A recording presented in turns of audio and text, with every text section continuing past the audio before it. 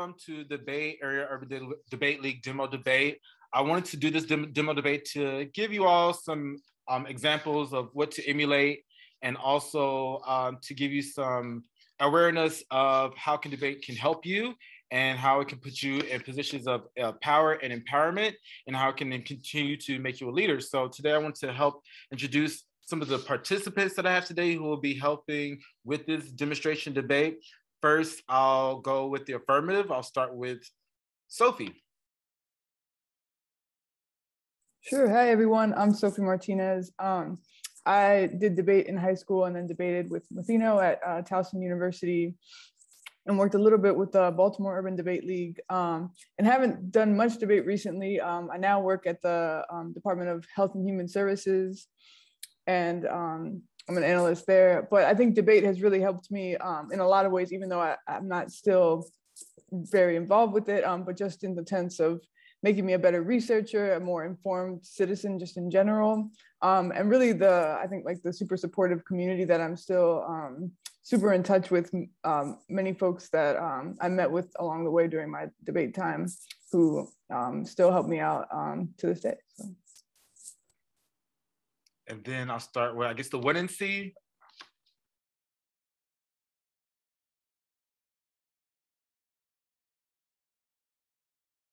I don't know who's the winning. Oh, Will, go ahead, Will. Okay, I'm sorry, my bad. Having issues, technical issues. Uh, my name is Willie Johnson. I am a former debater for the New York uh, Urban Debate League, which is currently now the New York City Urban Debate League. I've worked with multiple programs and multiple students across the nation. I'm the current assistant director at Rutgers University and also the uh, EMS coordinator for the Newark Debate Academy. So debate is really my thing. I've been doing it since, you know, a freshman in high school. So. And then I'll go with Amy. Hi, um, I am Amy Gorell. I'm a volunteer with the Bay Area Urban Debate League, and I'm the current coach for Oakland Technical High School. Um, if you're watching this from the Bay Area Urban Debate League, you may have seen me before. I probably judged you. Um, I, uh, I debated in high school in the state of Virginia all four years. I went to nationals. I did really well, and then I debated also for the University of San Francisco in college. Um, and now I work at the Environmental Protection Agency here in uh, San Francisco. Um, so what does debate mean to me? Um, I mean, it, it means everything. I don't, I volunteer, but it's not my job, but it means it impacts every part of my life, how I communicate, how confident I am. I know that a lot of us uh, face, you know, difficulty in getting people to believe in us or hear us or understand us. And debate means that to me, when I walk into a room and I open my mouth, I know I'm going to be heard. So that's what debate means to me.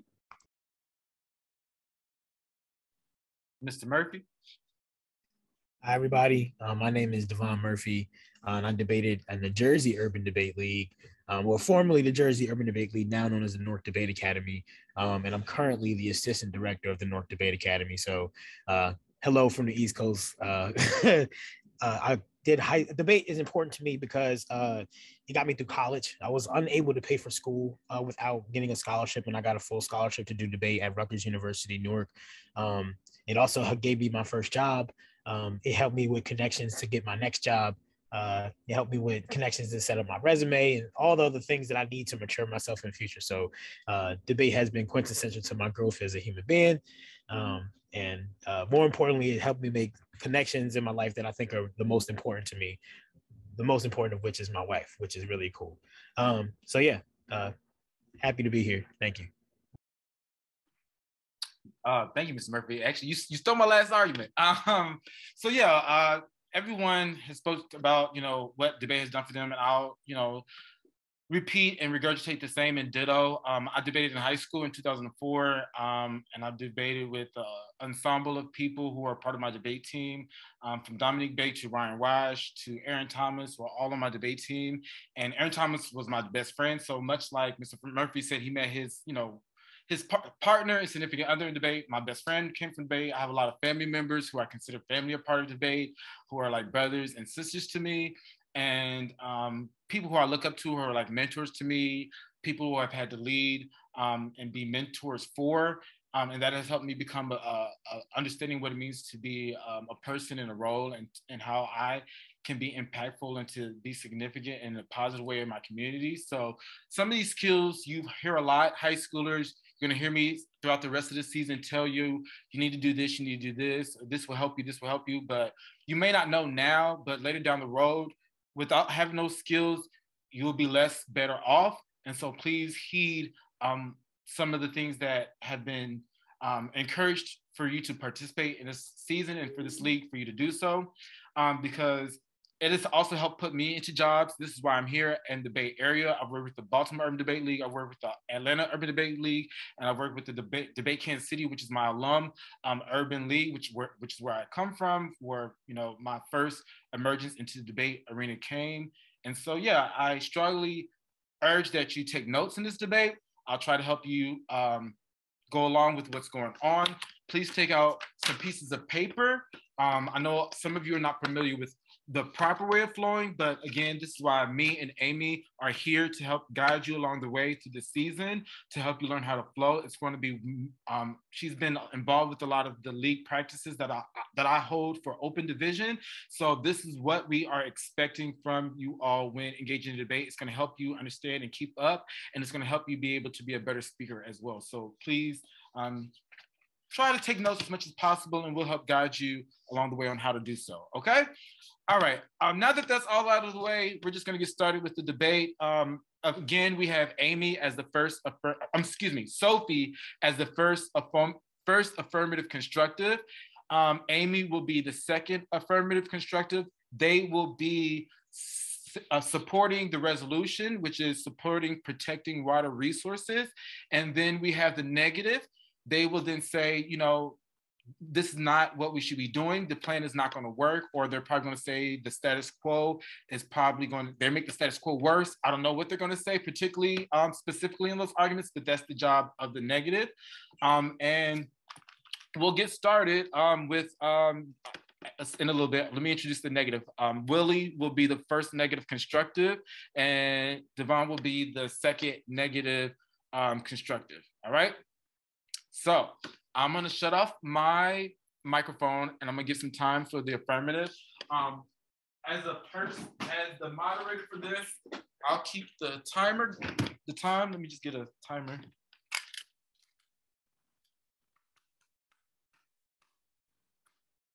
Could use my phone, I guess, but trying to be old school, trying to keep the battery out.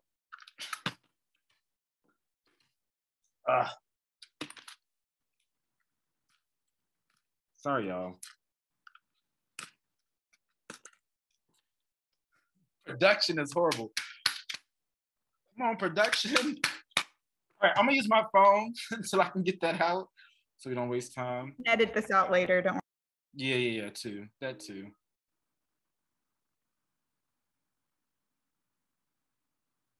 I won't be editing it, but someone from BAUDL will. All right. Um eight minutes on the clock. And then Sophie, whenever you are ready. All right, sounds good. You ready? Oh, w- really quickly, Sophie, just for um, debate demonstration purposes, just make sure you're kind of very clear on the citations and the tag, all right, for me? Okay. Okay. Okay. The advantage is sustainability. Current environmental law is focused only on the needs of humans because it views the environment as the property of humanity. Boyd 17. Humans have a troubled relationship with ecosystems upon which all life on Earth depends. Vital planetary systems, climate, water, and nitrogen are being disrupted. Humanity's ecological footprint is 1.6 Earths. Misuse of nature is rooted in three ideas. First, anthropocentrism. Second is that nature constitutes our property. Third is that we should pursue limitless economic growth.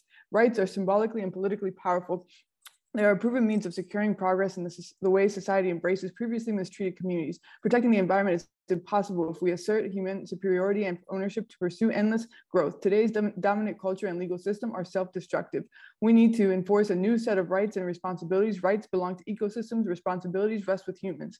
And that structurally tilts environmental law toward human interests, which guarantees destruction of water rights, resources, and the broader environment. Only conferring rights directly to river ecosystems can systemically prioritize protection over unsustainable growth. Sheehan 19. Fully implementing existing laws would still fail to ensure a thriving planet because these laws assume we can control the natural world. Consistent with a frame of nature as economic resource, our environmental laws legalize and externalize the impacts of pollution.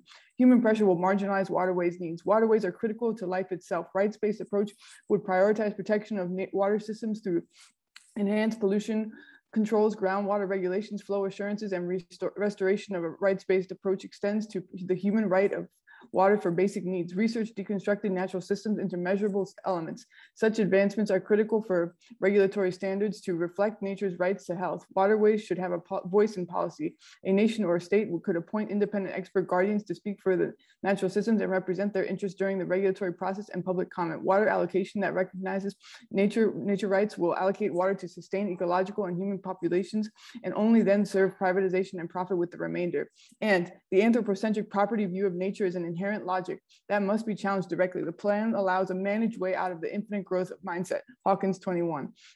Sustainable development has proven unsustainable. More radical strategies move towards ontological plurality of separate yet supporting ways of addressing contradictions. Moving beyond current paradigm towards a great transformation, degrowth is weak when analyzing the frontiers of extraction. The worst effects of growth can be seen at these frontiers. Dispossessed groups, especially indigenous peoples, bear the brunt of negative externalities. Resource extraction represents the bedrock of global economic growth. The RON's connection to indigenous worldviews and widespread means it's a merit to place in the degrowth playbook. These two movements are mutually supporting in that they target the greatest logics at the center of the current crisis, the need to grow economic activity and anthropocentrism founded on the human nature duality. RON through laws Connection to culture challenges anthropocentrism as a central logic. Challenging core tenets will be necessary to build a better world in the ruins of modernity. And rivers are key. They're the lifeblood of the earth, and river rights set a strong foundation for broad recognition of nature's rights. Agita 20. Legislators and indigenous authorities are increasingly recognizing rights with emphasis on rivers.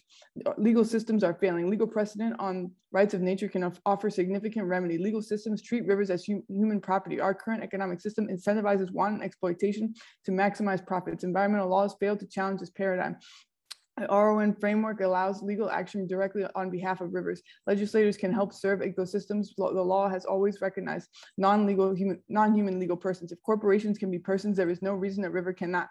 Courts and legislators around the world have recognized or created bodies that speak on a river's behalf. RON provides a framework for radical action. They establish far-reaching enforceable rights and duties. And an economic system that prioritizes corporate rights over rights of nature guarantees unsustainable growth and collapse. Techno fixes can't solve. Only redrawing the boundaries of the economy within biophysical limits can stave off extinction. Big 17. As humanity fast tracks towards the collapse of our planetary systems, we articulate a new economy in balance with natural systems, recognizing legal rights for ecosystems as a necessary part of placing our economy in an appropriate relationship with the natural order. Endless growth of a finite planet is an impossibility. We must avoid techno-utopianism. All tech must be subject to full life cycle analysis. Subordination of the web of life to the corporate system erodes means of existence on this planet. The current dominant economy is built on endless pollution.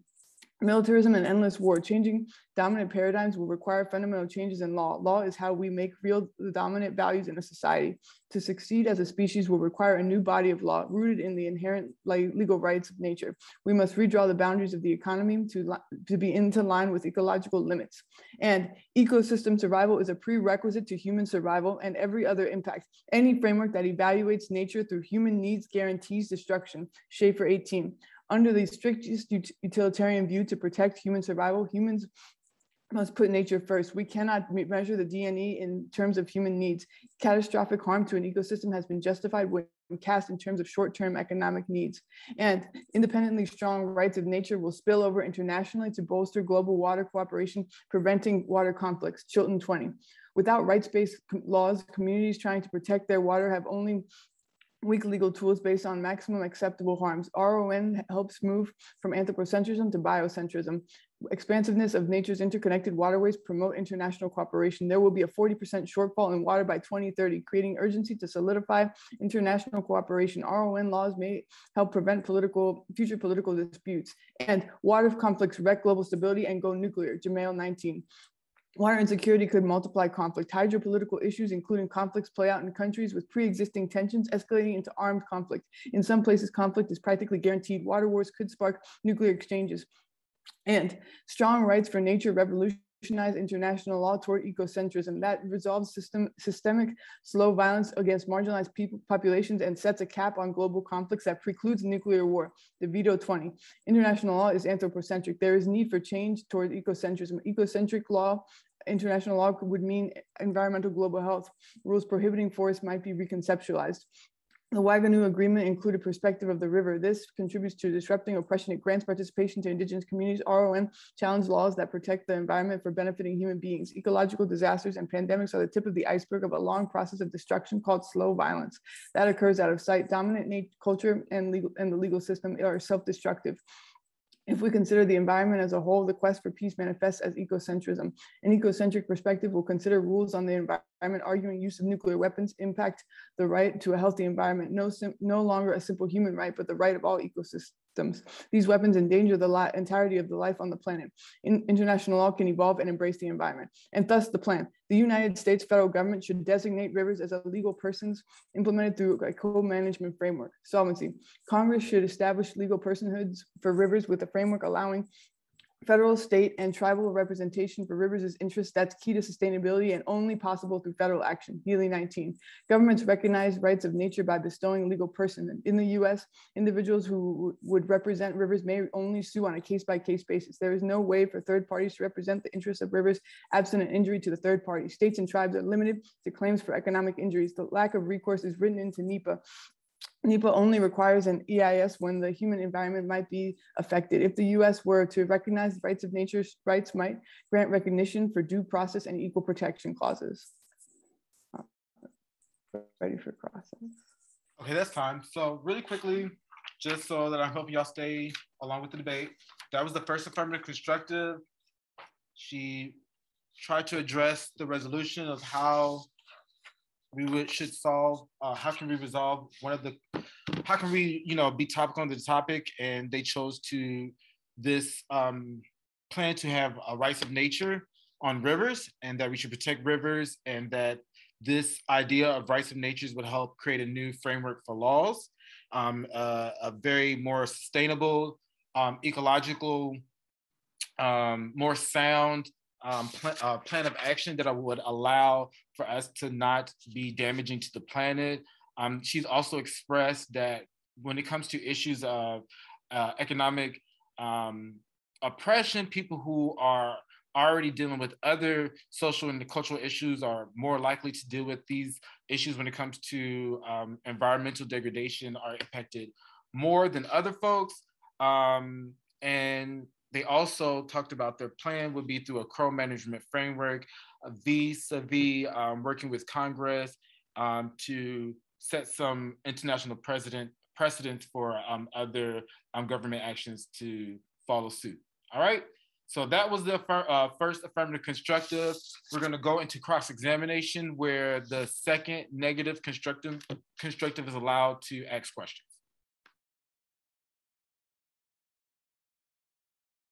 All right. Uh, Sophie, you good? All right. Um. Oh wait, I, I don't have my timer set either. Give me a second. okay. Um. So, what exactly does the plan do legally? So legally, it would give rights to rivers. So similar to how you know given rights in the past to corporations, we would be able to give rights to rivers. Who so that, sorry. Uh, no, go ahead. Who enforces or upholds those rights? So we would probably need individuals to, to represent rivers in kind of in courts and those sorts of things. So that way they could um, be thinking about in the best interest of the river, kind of separate from, um, you know, corporations or federal government, those sorts of things. So it would have to be individual entities that protect individual waterways, right? Right. I mean, it'd have to be it'd have to be some sort of individual. Yeah. Okay. Um, that happens in the United States, um, right? Like this is all about the United States waterways, correct? Correct. Your evidence, uh, specifically your impact evidence in the first contention, the Jamail evidence and the DeVito evidence, when they're talking about conflicts going nuclear, both of those pieces of evidence talk about North Africa, Eastern Asia, Mexico, and how those cause conflicts and nuclear weapons. How exactly does the affirmative, which implicates individuals suing and protecting United States waterways affect international conflicts uh, between like India, Pakistan, etc.? Yeah, so through like spillover effects, basically with other countries kind of modeling um, similar p- pathways. So, and also kind of with international law, the U.S. kind of playing a role in international relations. Um, Can I ask a question about that? yeah. You said that other nations will model. What what modeling like what, what like if an individual sues because of like lack of water resources in India, why would that stop India and Pakistan from having a conflict? Um, basically, it's that you know India would now be looking at uh, river or rights of water differently. So they would be kind of thinking about the the the value of the river and the water itself rather than which would help decrease scarcity in general. Okay, okay, that makes sense. Uh the if nations are fighting for water resources and can't pay to provide water for their people, how could they pay to have a nuclear conflict? Because war is pretty expensive, right?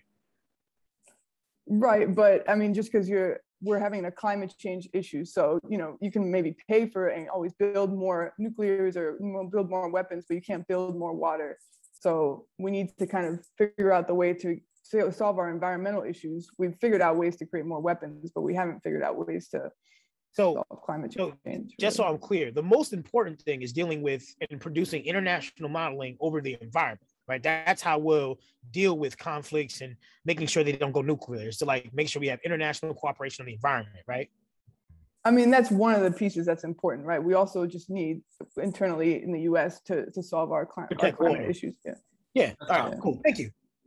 That's time. All right, so now we're gonna get into the first negative constructive. They will lay out um, their position, and um, what will um, Will will do is, I'm sure he will have different positions in this particular um, role. Um, so what you want to do, students, is for each different position, you want to take out a piece of paper, and then you're going to write all your notes on that one position, and then he'll advise you um, when to take notes on the next position um, that he's going for. Um, so before he does that, he'll give you a roadmap, and then based on his roadmap, that's the amount, the sheets amount, the amount of sheets you'll need to then take a flow on each sheet.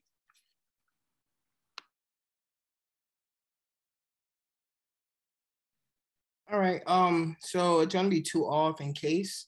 You can flow case straight down. So students, you'll need two sheets of paper. So there would be two blank sheets, and then under that, that two blank, blank sheets of paper, this is where the 1AC is. I'm gonna put that under that and flow the neg arguments with the red pencil, with the red pen on the uh, uh, right next to where he said straight down to the um, the affirmative side. So I have my affirmative arguments right here, and I'm just gonna flow straight down that flow.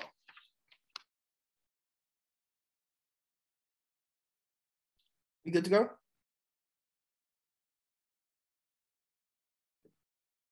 I'm sorry, I'm old, y'all. What's the time? Uh, eight minutes. Okay. I'm just getting the timer. Well, you my age? Don't do that. I might be older than you. By like a year. Okay. First is the state's counterplan. Text: The 50 states, the 50 United States should designate rivers as legal persons implemented through a co-management framework. Solvency. Debt solves and spills up. This ELC in, two, in 2020.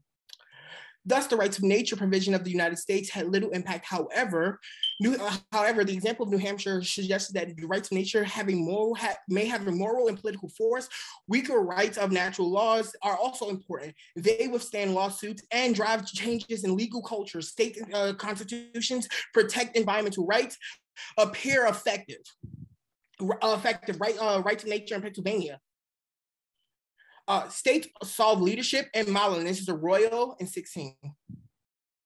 States engage in the international front, working with other states to share better practices, link programs, and supports global agreement.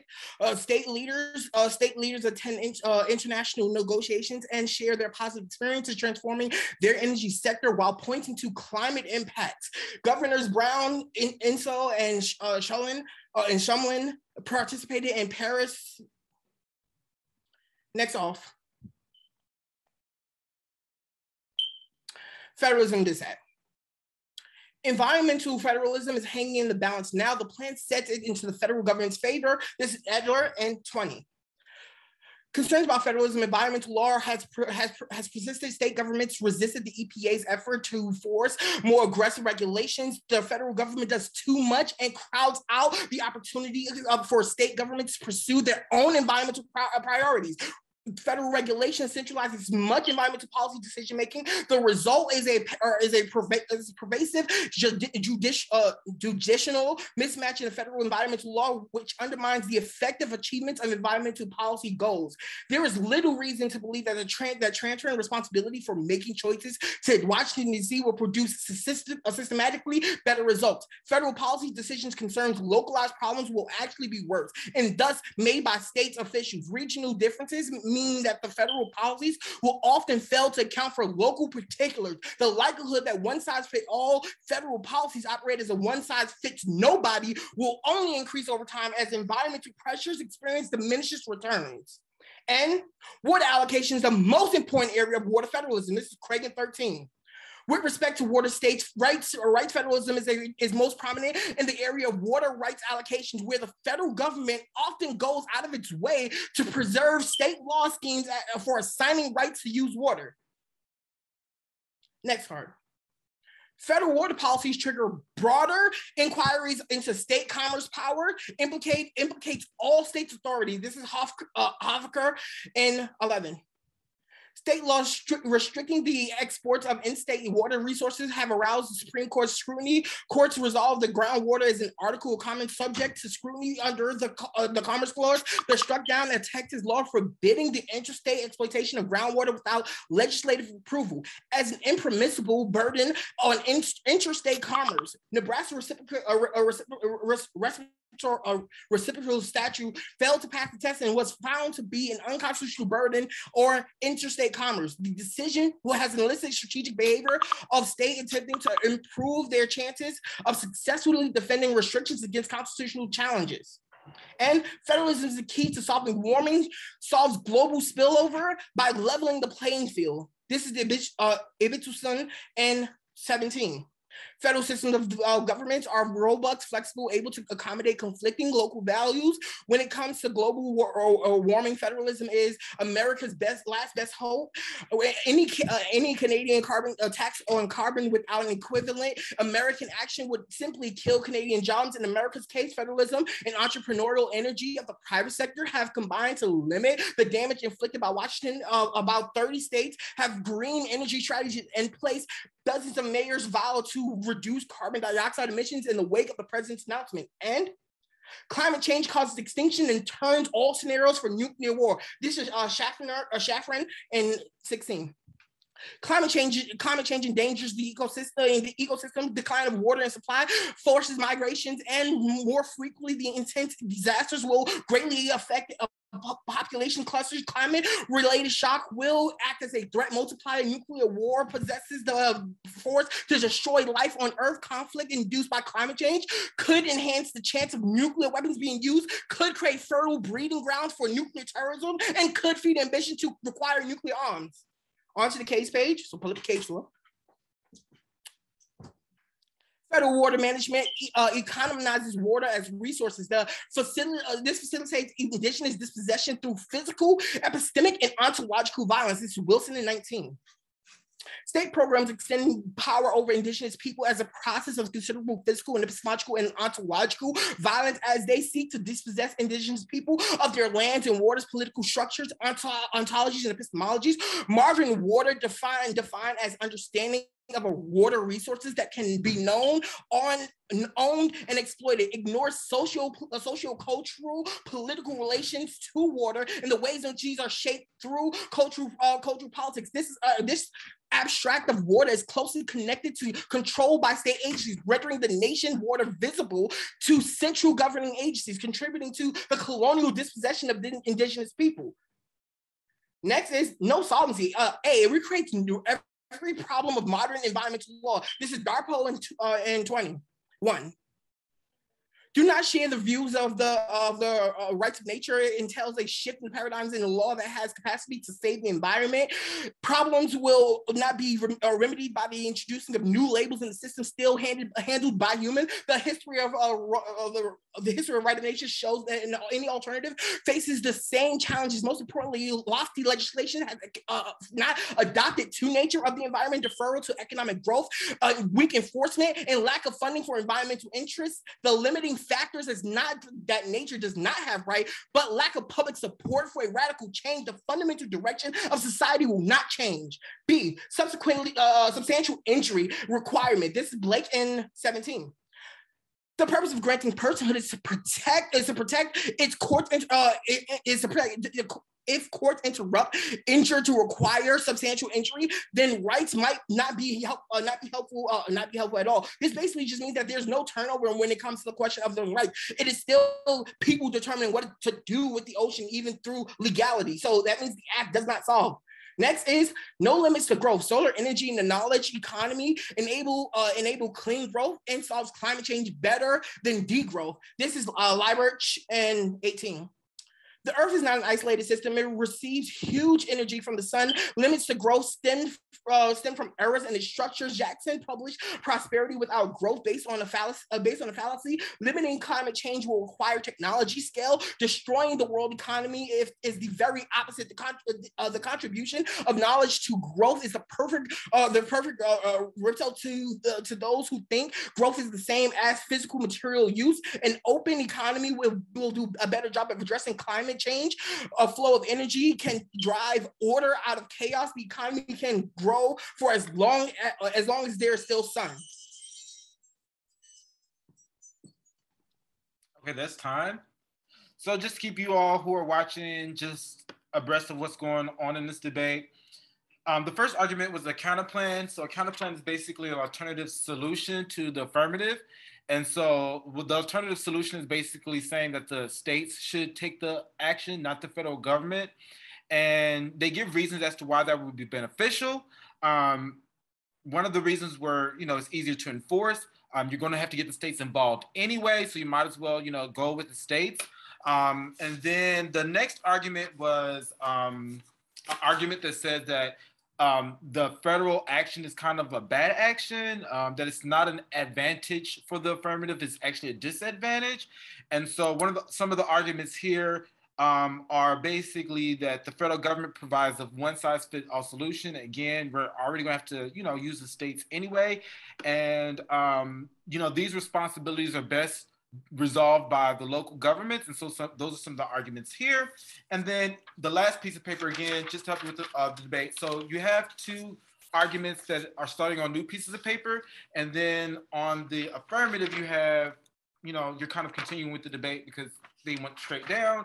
And so um, here, there was arguments, um, particularly uh, um, specific to the case, about how um, Let's see how the affirmative doesn't solve because there's no transference of power. Basically, you're not transferring the power to rights of, uh, to uh, rivers radically.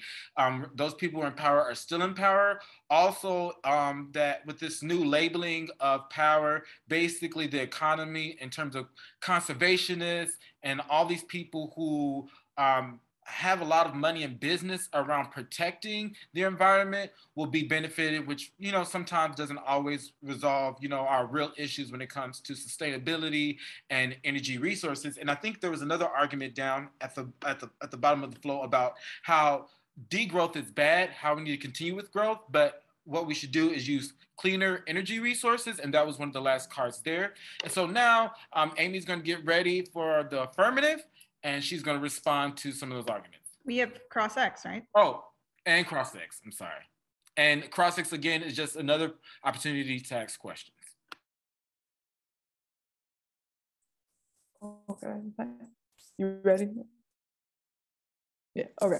Uh, so for the uh, counter plan, are all states designating rivers as legal persons in the same way? Uh, the argument is that we allow these states to establish a particular protection of rights to do so. So if there is a river that exists in the state, then there will be legal protections. Right. Okay. So it's also, it's also probably functionally better because certain states that share rivers can actually co-manage better. So states can kind of decide how they want to how they want to do it. Yeah. Okay. So then does that mean kind of more conservative states that don't really care as much about climate change are probably going to do less of a have less rights for rivers? That assume that a these states already don't have uh, climate change efforts in place. Two, those states also don't have particular protections for their river because those that, that's a resource of economics for them. Uh, three, that the federal government would do better at it given that the docket is full. So if that's all those things are true, then yeah, you're correct. Okay. Um, so you talk about kind of how uh, clean energy can solve uh, can solve for climate change. How come that hasn't already happened? Uh, because it's a process. Our argument is that like the damaging and like I guess the lack of like particular rights allows for levels of climate change that cannot be resolved by simple technologies. Now, this is why innovation is fundamentally better in a better solution, given that the 1AC would choose to not innovate and to degrow. So, so in reality, the technology is not at the level to deal with climate change as it is. Innovation is key to that, and that it requires growth.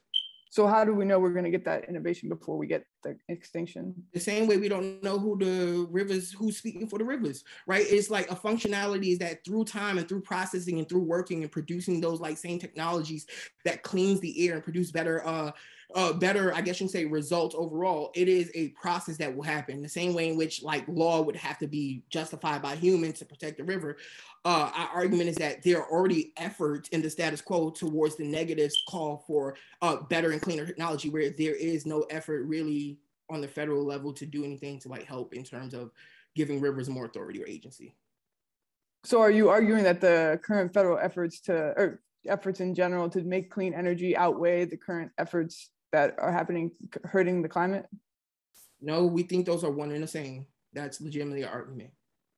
Okay, so so but you're hoping that in the end, kind of fingers crossed, the clean energy will solve will outweigh. Like you know, we go chase waterfalls and we don't listen to the rivers, apparently. It's like uh, really just a question of what do we do in order to pursue better solutions for the way and the conditions of climate change currently. We think that the states have had better access to it than the federal government, given the leniency of the federal government to deal with climate change. We also believe that fundamentally that the AF doesn't do anything but produce degrowth, which is bad for innovation. We also don't think that the AF does anything to help indigenous people who are speaking uniquely about their relationship to the river and that states are better at handling this because the federal government always puts them on a back burner. I think that's time, right? Yep, that's time. So um, hopefully, you know, you're keeping up with the speeches and know what's going on in the speeches, and you're keeping up with the cross X. Hopefully, cross X, um, the first cross X, gave you more insight into what the affirmative was speaking about. Hopefully, um, this next cross X will give you insight in what the negative was trying to say. And so we're going to keep the debate going. The next um, person who's going to be speaking will be the second affirmative constructive. Um, that will be Amy, who's representing the affirmative team. She will also be the uh, roadmap. Yes, I'm going to give them a roadmap. And also, um, I am um, the negative was nice enough to give us their evidence before the round. Um, so I pulled evidence from the packets that you all have that responded this to the specific things that they said and put it into a document. And I'm going to share that document in the chat with everybody. So now the negative has access to the uh, evidence that I'm about to read. So I put that in the chat if the negative wants to look at it. Um, and I have eight minutes on the clock. Uh, and so the roadmap is going to be, I'm going to give a case overview. I'm going to address the state's counter plan. Then I'm going to do the federalism disad. Um, and then I'm going to go to case and I'll just follow them down the flow. So you can just do a line by line following them. So really quickly, now this is just for flowing purposes. There's two options that debaters usually choose. And I usually go for my overviews on a separate piece of paper. Some people, and it depends on the type of debate you're having. Sometimes you can put it on the case itself and just put a block where that overview is and continue the line by line flow down. Um, but that's really your choice. Um, and sometimes you can ask, a lot of the judges will ask, so like myself, I'm gonna ask Amy, would you prefer to have it on the AF sheet or would you prefer it on a separate sheet? Um, I, I think whatever is most convenient for you, maybe a separate sheet is what I would recommend, but. Okay, is everybody ready? Okay, eight minutes. First, the overview. Climate change is an existential impending disaster that we must collectively face. River rights and rights of nature is an essential step in changing the way in which we interface with our environment and our communities. Extend our entire case. We solve for environmental destruction in essential keystone ecologies and preempt the escalation of desperate water wars. Unlike other climate change solutions and unlike the fear mongering the neg would have you believe, the 1AC offers a managed way out of our current environmental destructive expansionism. Extend our Hawkins 21 card. Even the chance that rights of nature could solve is enough for you to vote AF onto the state's counterplan. First, PERM, do both. The counterplan and the plan are not mutually exclusive actions. Both the state and the federal government can pass legislation at the same time. The PERM is the ideal version because it gives the states the ability to manage their own local environments while still accessing solvency on key federal lands. And the PERM invigorates a model of cooperative federalism which solves best, Hanshaw 17. Since Congress adopted the CWA, state enforcement actions along with civil suits have done much to improve the quality of nation's waters. A key feature of the CWA is a system of cooperative federalism whereby states may voluntarily assume responsibility for enforcement of water pollution control laws. After federal approval, the state environmental permitting and enforcement agency administers the federally approved program within the state's borders with oversight from the EPA. Next. Time frame perm, do the counterplan and then the 1AC after. Since the plans are not mutually exclusive, allowing the states to pass this legislation first circumvents the link to the federalism disad and solves. States will not be usurped by federal government and the federal government can cover areas where states lack authority and provide essential oversight. Proves the CPA is not competitive and you must air AF. Next, counterplan cannot solve independently. First, preemption. State level rights of nature gets struck down and preempted by federal courts. This is Berman 19. LEBOR's enactment exceeded the city's authority and was preempted by federal law. Swift preemption illustrates the legal barriers to extending personhood to nature are insurmountable. The Supreme Court's narrow interpretation of constitutional standing requirements preclude citizens from bringing an action alleging direct injury to an ecosystem itself, irrespective of language and le legislation. In environmental enforcement, harm to the environment does not meet standing requirements. Next. Federal lands, they're key to overall environment and only protected by federal standing for nature. This is Shank 21. Start with the federal lands has set an important legal rights-based precedent for how we approach and utilize these taxpayer-owned lands. Public lands are some of the most exploited and extracted on unsafe lands in America. Lack of transparency and accountability allows mining operators to pollute and discharge excessive damaging effluents into 12,000 miles of American rivers and streams and 180,000 acres of lakes and reservoirs, destroying drinking water supplies and crucial wildlife habitat. It would give Americans freedom to, uh, from harm on those lands, including the harm from water pollution. It is time to add the right of nature. We need legal protections and rights. Until we have stronger legal foundation for the protection of the natural environment, both will continue to be put in harm's way. Onto the federalism disad. First, cross-apply our counterplan perms here. We solve best for federalism impacts through cooperative federalism, cross-apply Hanshaw 17. This solves best for their impacts. Our timeframe perm destroys the link to the disad, so there's no access to impacts either. Next. No link. Procedural favoritism is normal means. This is Fischman 2005. Found in federalism is state favoritism in the federal process. Procedural federalism is well entrenched in natural resource law. This reserves a special role for states in the process by which federal government makes environmental decisions. Next, no link. Federal water pollution regulation is a proper use of Commerce Clause authority and distinct from land use and federalism issues. Baumgartner 2005. Water pollution is an aspect of interstate commerce that states cannot effectively manage without federal policy. Water pollution regulations are an essential part of national environmental policy, which the Supreme Court has deemed distinct from traditional state power over land use. States cannot regulate pollution of navigable waters without disturbing the policies of their neighboring states, making it a proper use of Congress's Commerce Clause authority to impose national water pollution control standards. Next, EPA overreach is non-unique, multiple instances, Bosworth 20. The EPA was claiming that the principal consultation was not required. Most states would interpret it as belying reality and demonstrating bad faith. Wheeler, apparently with presidential approval, revoked California's waiver under the Clean Air Act that allowed the state to set higher auto emission standards to combat climate change. This decision was effectively preemptive of those states. There was no prior federalism consultation. State environmental agency officials wrote, we are seriously concerned about the number of unilateral U actions by the US EPA that run counter to the spirit of co cooperative federalism and to the appropriate relationship between the federal government and the states. ECOS respectfully demanded a meeting. Next, turn. Without extensive federal oversight, state enforcement of water regulation fails due to internal politics and state decisions to ignore science. Secchi and McDonald's 2019. This analysis also informs a broader discussion on the effectiveness of decentralized water approaches to water quality management. Further, the lack of coordination and initiatives across the watershed shows continued and abandonment of holistic watershed approaches. Overall, due to lack of targeting and scientific basis for watershed prioritization, it is apparent that the current crop of strategies being effective uh, is not being effective at improving water quality in the watershed. Some states, such as Kentucky, uh, have not spurred any meaningful efforts. A recent development illustrates how the states are largely stalling, ignoring science in the process. Onto the case. First, to answer their Wilson 19 card, turn. Strategic use of policy is necessary to achieve adoption of Indigenous water alternatives, Neville 19. Indigenous approaches to reclaiming sovereignty from settler states are challenging the economic foundations of nation states and their domestic and international exchange relationships. Within settler, settler states, these changes are being forced through such strategic legal channels. Indigenous nations are revising authority over land and waters, embedding self-governance and co-governance and other models of layered decision-making into the state practice. Next, answer to their Darpö 21 card. I want you to extend our Hawkins 21 card here. Jan Darpö is one professor. She may not agree that rights of nature is an immediate paradigm shift, but that's not what we're arguing either. We're arguing our plan is a managed way out of anthropocentrism with an impact of extinction. This means that we maintain the economy. We don't completely destroy it, but we do encourage degrowth. It's the only way to maintain the economy and our impact of extinction outweighs anyway.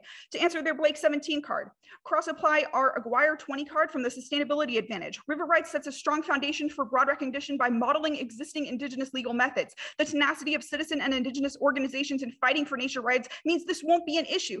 Even their card says, quote, might not be very helpful, which is a weak argument to begin with. Indigenous and uh, civilian uh, organizations have proven they will fight for uh, economic or environmental rights. They're going to solve regardless and we outweigh. Onto the sustainability advantage. Answer to the Liebreich 18 card. I want you to extend our Hawkins 21 card again. Plan provides a managed way out. Degrowth is coming, whether we want it to or not. The question is how much damage is going to be done in the process. Also extend our big 17 card here. Techno fixes cannot solve. They're corporate propaganda that ensures extinction. Also, transition now is better. Diminishing tech returns means society has already entered in voluntary degrowth. This is Bonaiuti 18. After the financial crisis, despite years of zero interest rates, there are no significant signs of satisfying recovery of the global economy. We are experiencing something different from an ordinary crisis. It is an important step that legitimizes the debate on post-growth. Standard economics lacks evolutionary theory and does not even take into consideration irreversible changes. Innovations are not enough to compensate for the declining returns. Advanced capitalist societies have entered a phase of declining returns or involuntary degrowth in key sectors and detrimental effects on the system's capacity to maintain its framework. Next, water is key to all environments and social resilience, breaks down uh, breakdown risks extinction. This is Rockstrom 14. Now that the Earth has entered the Anthropocene era, in which humanity constitutes a force of change on a planetary scale, the world faces a new global level of water concern. Empirical evidence is the exponential growth in global environmental impacts. The Anthropocene uh, includes the challenge of providing fresh water to, for human developed to 9 billion people. Managing this new situation in which abrupt, large scale changes to the biophysical system can no longer be excluded. Water is critical to resilience of landscapes and communities. It is connected to the fundamental aspects the, of the future survival and prosperity of humankind. All living organisms in the biosphere and the ability of the landscape to provide eco ecosystem services depend on fresh water for plant growth and to sustain ecological habitats. Water is the bloodstream of the biosphere. Water is the prerequisite for human health, food production, and the generation of all other ecosystem services from biodiversity to temperature regulation. Once a threshold to a new stable is crossed, it is difficult, if not impossible, to restore the original system functions. We solve for our plan, we outweigh, even if you, by risk of negative impacts, I now stand ready for cross-X. All right, so we're going to do cross X, and then I'll give a little tidbit of what's going on in the debate. So the uh, it'll be Mr. Mer. No, I'm sorry. Will will be providing the cross X. Okay. Um. So you have said time and time again the AF outweighs. Uh, your impact suggests that the reason why we would have a nuclear conflict is because of water resource wars. Can you give me three examples of them happening now? So just to clarify, we have two impacts. We have the uh, extinction impact off of our environmental solvency and biodiversity, and then we also have water wars, right? So we're outweighing in two ways. But in, in terms of the water wars impact, um, historically there hasn't been a direct example, but we have a lot of likelihood doesn't exist. Awesome. Second, your bio, your argument about biodiversity, right? In the question of biodiversity, how does the AF solve for biodiversity if the plan is to degrowth, where there are missing change that needs be, we need adaptation to? Why is technology not the future of adaptation? Okay, so we actually access extinction through multiple avenues, not just biodiversity, right? We're talking about water quality, access to water, um, and biodiversity. Biodiversity. That's the that's the concluding terminal impact, right? Biodiversity loss right? Well, the, so, the, terminal impact is extinction, right? But biodiversity is one of the ways in which we access that terminal impact. Um, but uh, in terms of biodiversity, right, like like our Aguirre 20 card talks about how techno techno fixes have been sort of this corporate propaganda machine that is uh, selling the idea that if we just keep investing in corporations, that eventually they're going to come up with this innovative solution. But clearly that hasn't happened. And from the card I read in the last speech, we're already entering degrowth whether we want to or not. So okay, the question uh, is not what, is degrowth good, how are we going to survive it? I'm sorry for cutting you off. Uh, what examples do we have of degrowth working in any society? Um, so I mean, I don't know the entirety of human history, but like the, the point that I'm making here is that it's not an option. We're not asking, do you want to enter degrowth? We're telling you this is happening right now, whether you want to or not. And that's part of the struggle of our current economic system, right? How do we know that there's no examples of it? sorry, what was the question? How do we know we're in a period of degrowth and there's no other examples historically of it? I mean, there's tons of examples of degrowth historically. I don't uh, like you know the Roman Empire entered degrowth. I don't know how far back you're asking me to go here. Uh, um, well, I guess the your argument is permutation. Uh, your second permutation says we can do the counter plan, then do the act. Uh, why do we need the federal government if the states have the authority and agency to do so? That sounds like an interruption of federalism. Well, so we read a couple of cards answering that about how the counterplan by itself can't solve anyway. So procedural wow. federalism is actually normal, and also particular warrant that suggests that the states are not adequate. If anything, the first piece of evidence you read suggests that the states have already adopted and done CWA fundamentally better than the federal government, the part you don't highlight. Right, but there are key federal lands that author- that states don't have authority over, like lots of federal lands that are often the most polluted lands, in the country. Especially when they're stolen federal lands. sorry, can you repeat that? Who has access to those federal lands when they're stolen stolen federal land? that's time. Did you want me to answer the question or do you want to move on? Sure, we'll take prep. Okay. All right. So so uh, hopefully you've been following with the debate. I, I've been enjoying the debate thus far. I'm glad I'm not participating because there's been a lot of content here and a lot of different strategic um, positions that are going on. So just to keep you abreast of a few things for a lot of the students who are watching, who are new, who are just um, starting to um, get into debate, some things that I want you to be familiar with as you um, continue to participate in this activity and things that you can use as well in the future as strategic options. So the first things first, um, the first thing that that I noticed that Amy did um, that some of you might not be aware of or something to use. Me, me and Amy just gave, a, well, I gave a, um, a lecture, but Amy was there with me and helped me um, give some insight on um, what counterplans are. And so um, you can go back and re-watch that um, lecture. And if you want that lecture, I can send it to you. Um, but um, she did a perm, and basically, what a perm is is basically saying that you can do both plans at the same time, and that the negative plan is not competitive. If the negative is going to do what the affirmative does, there's no reason to vote for the negative. Again, the negative job is to say that you only uh, you only re-entrench the status quo or you make the status quo worse. And that's what the negative job is. And so she basically said, we can do this plan. Um, well, she had two types of perms. The first perm was to do both, right? Yes, it was a do both, which means both plans are not mutually exclusive. And then the second one is a time frame um, counter uh, counter uh, perm, excuse me, a time frame perm, which means that as um, was articulated in the cross X, that you know you would do the counter plan first and then the then the affirmative later which is something that the uh, uh, affirmative can do as a strategic option. And then there was something interesting um, as you're learning how to flow um, amy said cross apply which is the term that you want to use. It's when debaters use an argument on one sheet of paper and they then transfer that argument to another piece of paper. So you want to be mindful of, of what's going on in the flow and just to give you some insight on what's going on here, just content wise, argument wise. Um, so I'll start with the, we went with the counter plan first, right? No, well, there was a, well, basically there was an overview. Let's just start with the overview. Um, the overview is basically just a synopsis of how the judge should evaluate the round and what are the most pressing parts of the debate. So that's why um, sometimes Judges will fold that on a separate sheet of paper or they'll flow it next to the affirmative and block it out just to ensure that they are providing the good measurement that the affirmative has laid out um, within their uh, evaluating or within their uh, way of um, deciding the round.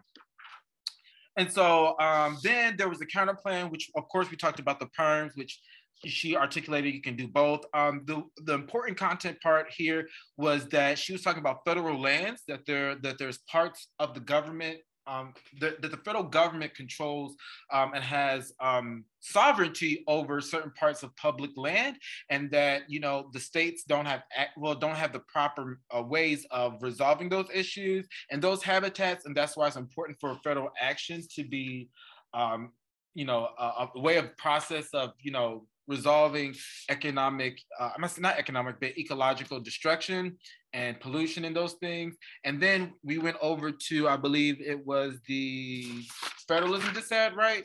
And then the federalism just said um, she cross-applied the perms, which you know stood a, a, testament to why there's no disadvantages there, and so that's why she cross-applied those perms. Um, and then she made some no links. Basically, she's not the reason why these impacts exist. Um, and then she went on to um, talk about how um, states are crucial to solving these issues, that um, federal action is necessary, but a lot of the enforcement and a, a lot of the states already get involved. A lot of these states are getting involved in international diplomatic conversations. They're at a lot of these international meetings. A lot of these states provide a lot of international insight on what's going on locally. So she was reading some arguments about that and some other stuff was happening there, but you should be following the debate. Um, we can talk about more about this later.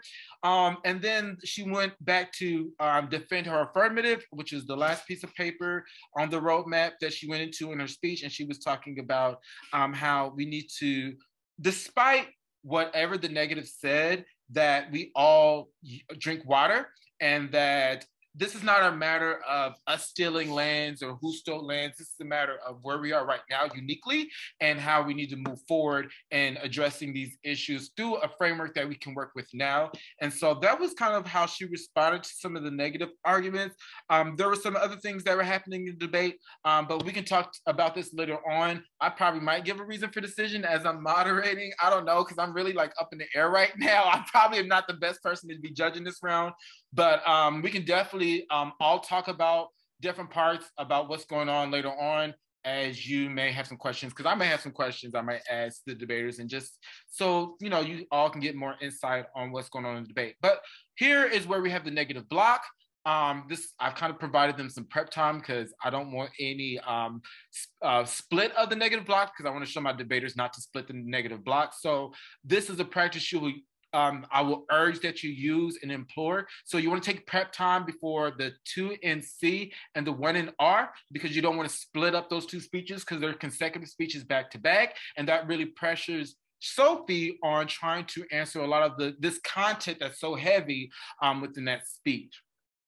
Um, and so um, yeah, um, we'll start getting I'm getting ready for the negative block and hopefully you are enjoying this debate as I am. There's a lot of stuff going on and I'm really appreciative for you guys, um, you all who are volunteering for taking it seriously and showing these kids how to do it because this is how you do it. Uh, quickly, uh, Willie wanted me to answer that question. Um, so I'm just going to do that really quick. I believe, and maybe, sorry, you might need to restate the question um, really quick, just so, because we're jumping back. Uh, the question was, in, given that these are federal lands, given that these are federal lands which are stolen lands, who speak for or ba- basically who has authority or agency over these lands once the plan happens? Right. Okay. Um, so uh, uh just to answer that last question, um, the the whole point of our answers to the counter plan, right, and the federalism disad is that the only current agency who has authority over those lands is the federal government. And so without federal government action, without the counterplan PERM, uh, like the, the PERM is the best way to solve because it combines state and federal action so that federal the federal government can exercise authority over those federal lands and also oversight over state actions. All right, thank you. Okay. All right. Um, I sent a document in the chat. Um, uh, if y'all can y'all can download um word, right? So it's good. All right, dope. Um, okay, so um, I'm gonna go to the counter plan page, and then I'm gonna go to the disadvantage page. Um, there will be an overview, um, uh, just like Amy had on both of the flows. So I would recommend just leaving a little space at the top of your flow so that you have enough space to get the overview down. Um, but there will be overview, and I'll make sure I'm very explicit when I'm switching from the overview to the line by line stuff. Okay. Um, first of all, am I loud enough? Am I good? Like I'm clear and stuff. All right, perfect. Because um, I'm not going to be looking at my Zoom, looking at the doc um, and my timer because this is I'm out of practice. Um, okie dokie. Um, hmm. Don't feel bad. I got I lost the demo debate to Isaac and Corey, so it's all right. Couldn't be me. all right, let's do this thing. Uh, y'all all ready? Lovely. All right, here we go. Hold on. I need to take a sip of the water.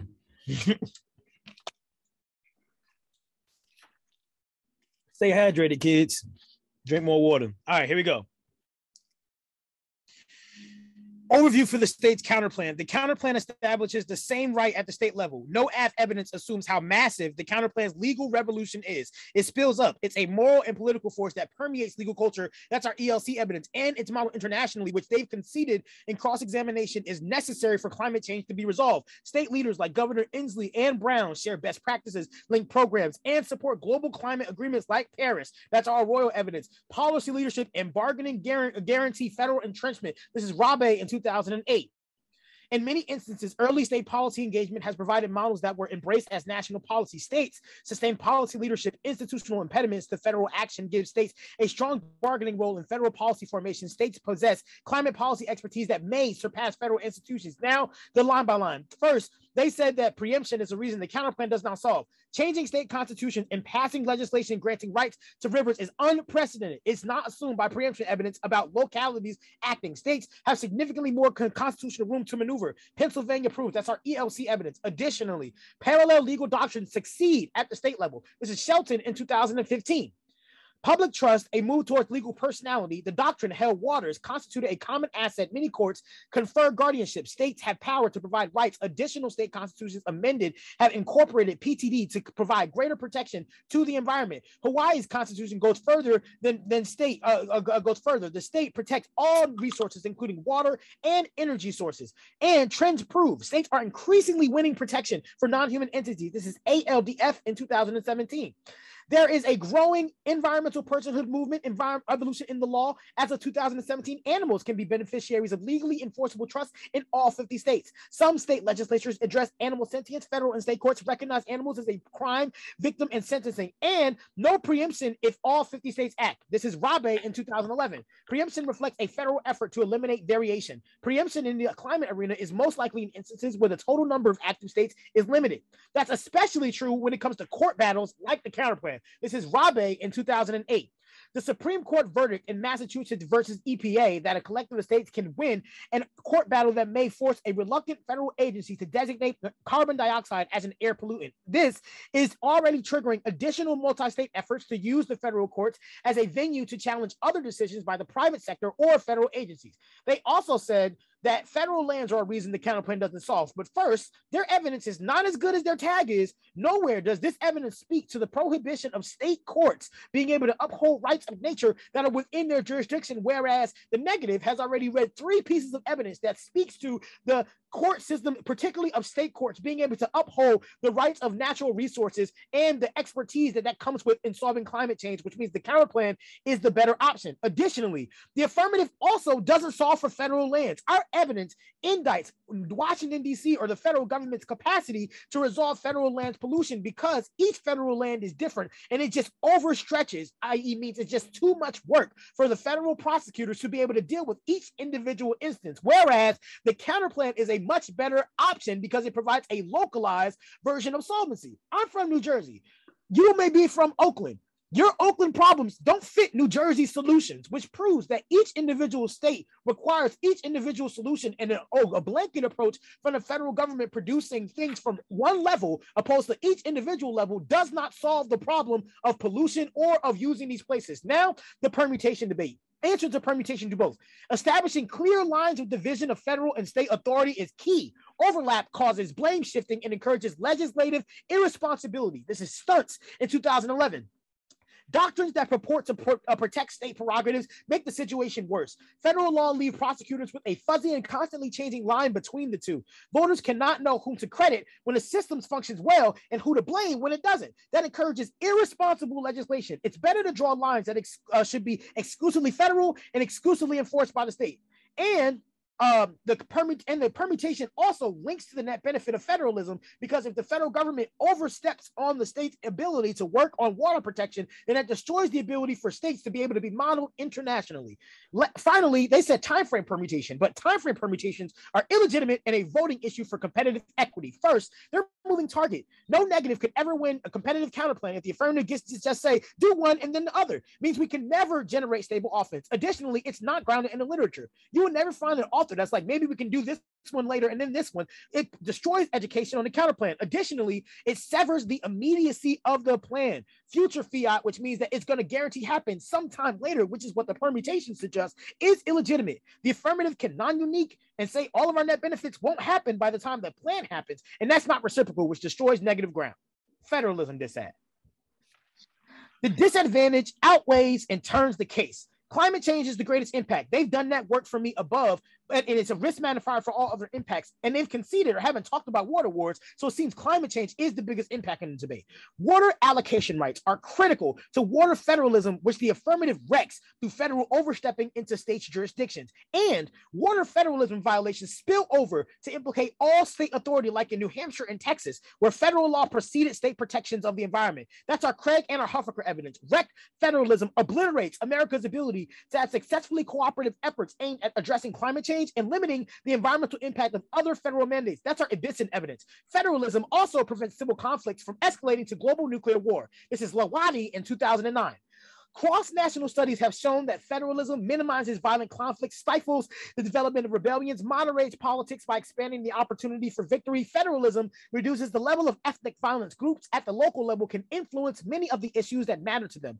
Broad empirical studies support the claims that power sharing can foster peaceful accommodation and prevent violent conflicts. It builds long term support for peaceful solution and undermines appeals to a militant action. Now, on the line by line, you can group their Fischman and their Baumgartner, which are the two cards that they read at the top. Both of these evidence assume the processes of both natural rights and natural resource rights, which are not water allocation rights, which we've already extended our Craig evidence that says that water allocation is the most important area of water federalism. And empirically, the federal government defers to the states. This means that the plan uniquely abrupts the ecosystem of states and federal rights. Now there's And McDonald evidence. First, our Rabe evidence indicates that uh, the technology to resolve climate change and to protect water is at a higher level than the federal government, particularly on the level of technology. Their evidence says that it's ineffective strategies, but their evidence does not assume the revolution of the counterplan. Remember our, our evidence from the one and see our EOU evidence or ELC evidence, which indicates that rights of nature is crazy new. It's revolutionary for the way that we can protect the environment by people being able to sue and, and sue, sue and give rights to waterways. If that happens at the local level, I've already kind of explained why that's better, but it also proves that their evidence is way too old and does not assume the new process of legal court status of the counterplan, which means the counterplan uh, uh, which means the disad is in a better situation for uniqueness than the affirmative. Um, I think I have like 10 seconds left. So uh, yeah, I'll just stop there. Thank you. All right, so um, now we're going to start with the um, cross-examination, and then the negative will continue with the negative block, and it'll be Willie's turn to speak. So students, remember when you're here at, at this point of the debate, after the cross-examination, you want to keep going with the negative. Okay, uh, are you ready for cross-ex? I'm good now. I'm sorry. No, you're okay. No problem. Okay. Um, so uh, first question on the um, counter plan. Um, can you explain how you guarantee that all states are going to comply with your fiated 50 states counter plan? Uh, we get fiat. I think we can fiat the counter plan text you haven't made like an argument for why we can't fiat that all states work uniformly to provide a right of nature.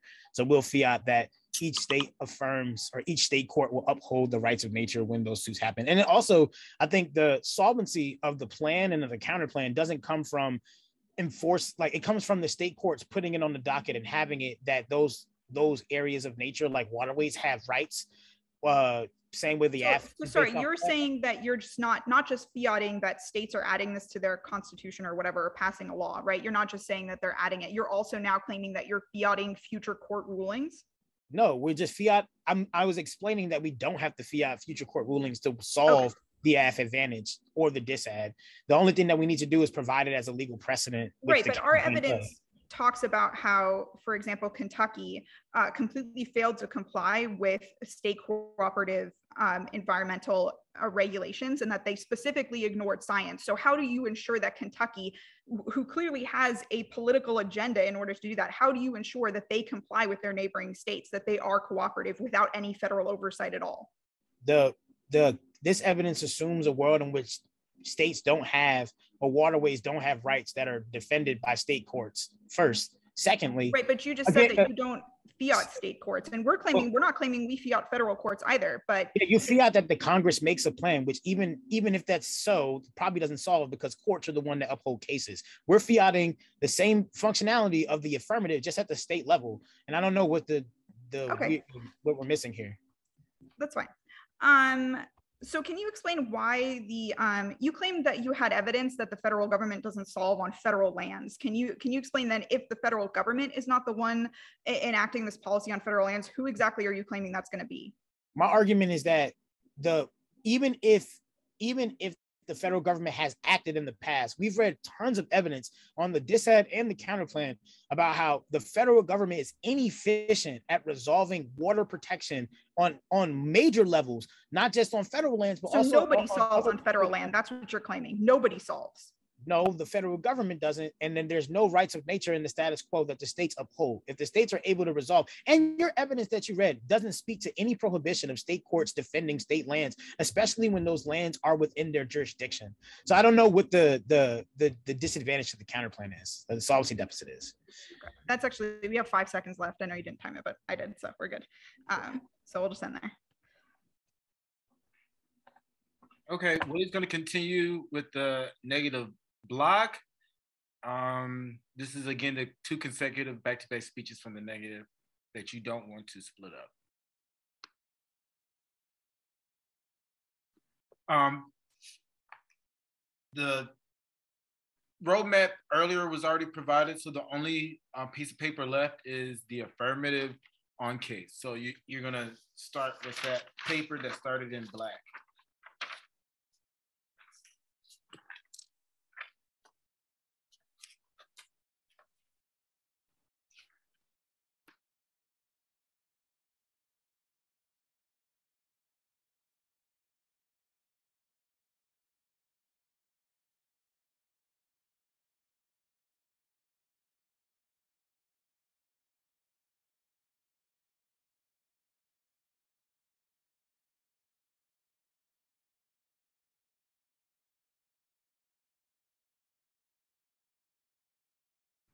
We all good?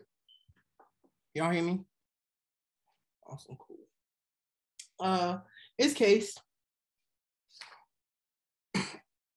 Uh, there's gonna be a small overview on the top. You can just slow it right down. This is five minutes, right? Okay. Told you I was old. I haven't done like high school in a minute.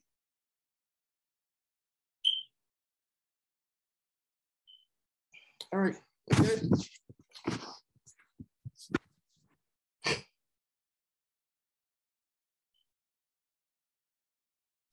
We believe that the choice is a little bit overzealous in explaining why the act actually outweighs. They have no justification or reason why the affirmative actually outweighs their internal link to their, their internal link to water wars. It's particularly nothing has nothing to do with America or American law, right? This is a reach if they think that international law is being entertained or being justified through the United States government uniquely. This is probably a Trump, this is probably dumped by Trump, which means that they have no internal link because even if we adopted the law, which we think should happen at the state level, the federal government does not even spill up or spill over. They have no claim to spill up or spill over, which means that there's no international law. She did not extend a piece of evidence to suggest that, which means she don't have access to this impact anymore, which means there's no legal war. Second, that all causes probably bite back against this impact. And in the first place, they would suggest that things like maybe Pakistan, India's like unique relationships on land, territory, and land disputes might be the reason for it. Maybe it's U.S. intervention, which means that federal government agency, particularly federal intervention, would probably be problematic in this situation anyway, any way, cause nuclear war anyway, which means that they don't resolve water resource wars. If anything, they create more war resource wars by federal government oversight, which means state companies probably still the better option. Is second that they don't solve biodiversity because we, they have no example of when degrowth has worked, which means that there's a hundred percent likelihood that, that the impact A does not take form, and B that we are not moving towards diversity laws the person needs this justification for why you don't vote affirmative. You can vote neg on presumption because they have not proven any burden that they resolved in the first place. Second, and this is probably going to be the kicker. We can go to the line by line. They flat out conceded our, they flat out conceded the Wilson 19 evidence straight turn to the methodology of the YC suggested that the focus on indigenous people is no longer a concern and it's legitimately the structure of colonialism that leads to water resource wars in the first place, which means that we control all the internal links to their impacts in the first place. The lack of indigenous control or rights, i.e. the federal land that they talk about is uniquely the reason why you should reject them because on the Pacific logic, the re, uh, refashioning of law to protect protect the rivers, does not protect those who uniquely have a relationship with rivers, with the, indigenous dispossessed people. So their federal land argument actually is a straight turn to the rhetorical research project. The one they see is just that Indian uh, indigenous dispossession would continue to happen in status quo. It's a unique reason to rope them down. There's no answer on the floor. You can check the 2AC. Remember that paper you have. There's no answer that connect record connects this, which means that their lack of the, that the lack of resolve for indigenous people, eh, which is the entirety of the 1AC, is completely devolved. Coming out the 2AC, it's all about micro management and federal regulation and federal control, which is exactly the violence that is produced in the second place. You can go to the Doppler evidence, uh, the, the our uh, Doppler evidence. It uniquely is a straight terms when they say says not only is the RON completely new and not the strategic best option, but federal government has been weak at enforcement. Her argument to this does only answer the author, but does not answer the author's warrant, which suggests that there have been weak enforcement and lacking funding, which means that if the federal government uh, does not provide provide enough funding for places like Mississippi or Detroit, for example, then water resources awards are very likely. This is the problem. This is the reason why I straight terms get from complete because they have no justification for why the resources are actually there for the federal government to do it on a smaller scale done by the state's government would uniquely resolve 100% of this impact, which means that the only thing you look for is that the, uh, the counseling does this fundamentally better and they have no solvency for how they actually resolve the crisis, the crisis on the uh, crisis on, the, uh, on a minute level, given that RON and the federal government work together has led to weak enforcement. Second is that their Hawkins evidence is probably incorrect. We're going to read a Hawkins evidence that, that predates theirs. Sorry.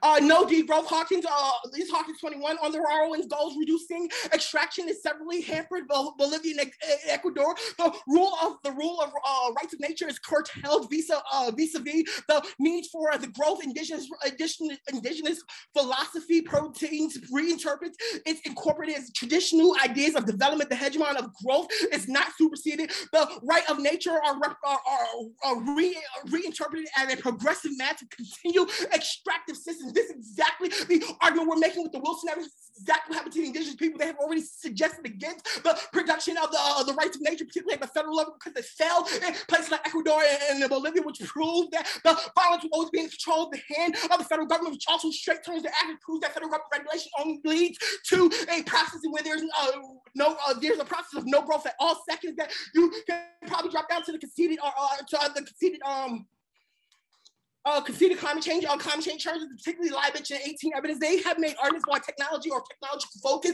is problematic, but arguments that furthermore, there's no current degrowth happening now. And second, that there's already been proven logic that some reversibility is possible given current technology right now. It suggests that the earth itself is not an isolated system and that fundamentally it's a problem of limits of growth that happens right now. The issues of the one sees move towards that limit of growth, which fundamentally destroys any ability for us to reverse the abilities of climate change. You mean the climate change is the biggest impact in surrounds. And they have no explanation for why the impacts outweigh.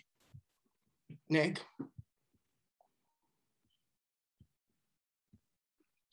All right, so the debate is getting a little bit more fleshed out at this point. So Um, I guess I'll start with counter plan, just to make sure that you all are staying abreast of what's going on. So um, basically, in the counter plan, um, there was answers to the perm, um, particularly about why the federal government would not be beneficial. Um, one of the arguments is that the state government is better at culturally permeating um, into the local community to be able to resolve these issues, um, not just uniquely because they're local geographically, but because of the systems that are currently in place. Um, and also that the state um, has to get involved anyway, and that federal government would only impede some of these current state processes. Um, he also made this, you know, example about how, you know, we can't resolve New Jersey's issues dealing with what's going on in California. Look, I was just at the Ocean Shores today. What what's going on in Maryland? You know, I was just living in Maryland. What happened in, in the harbor of Maryland is not going to resolve what's happening for me here at the main arena at Berkeley. Two different water systems, two different types of biodiversity, um, ge- geography, and all that. So some things to think about when focusing on, you know, what may be the best option. Um, and then let's go on to the federal uh, federalism dissent. So um, here there were some arguments about like how there there has been no evidence of water wars, um, and that at least not to the magnitude in which would cause the impact. Um, and then there's arguments here about um, how the states are more peaceful, um, that there isn't any bad um, optics provided by the federal government. And so the optics of the states working creates better public perception um, to be to be able to provide better opportunities for resolution so that people feel comfortable with the plan that is being implemented. And also he makes arguments about like, you know, um, how I think. Hold on, am I am I at the right? I'm on. Am I on the right piece of paper?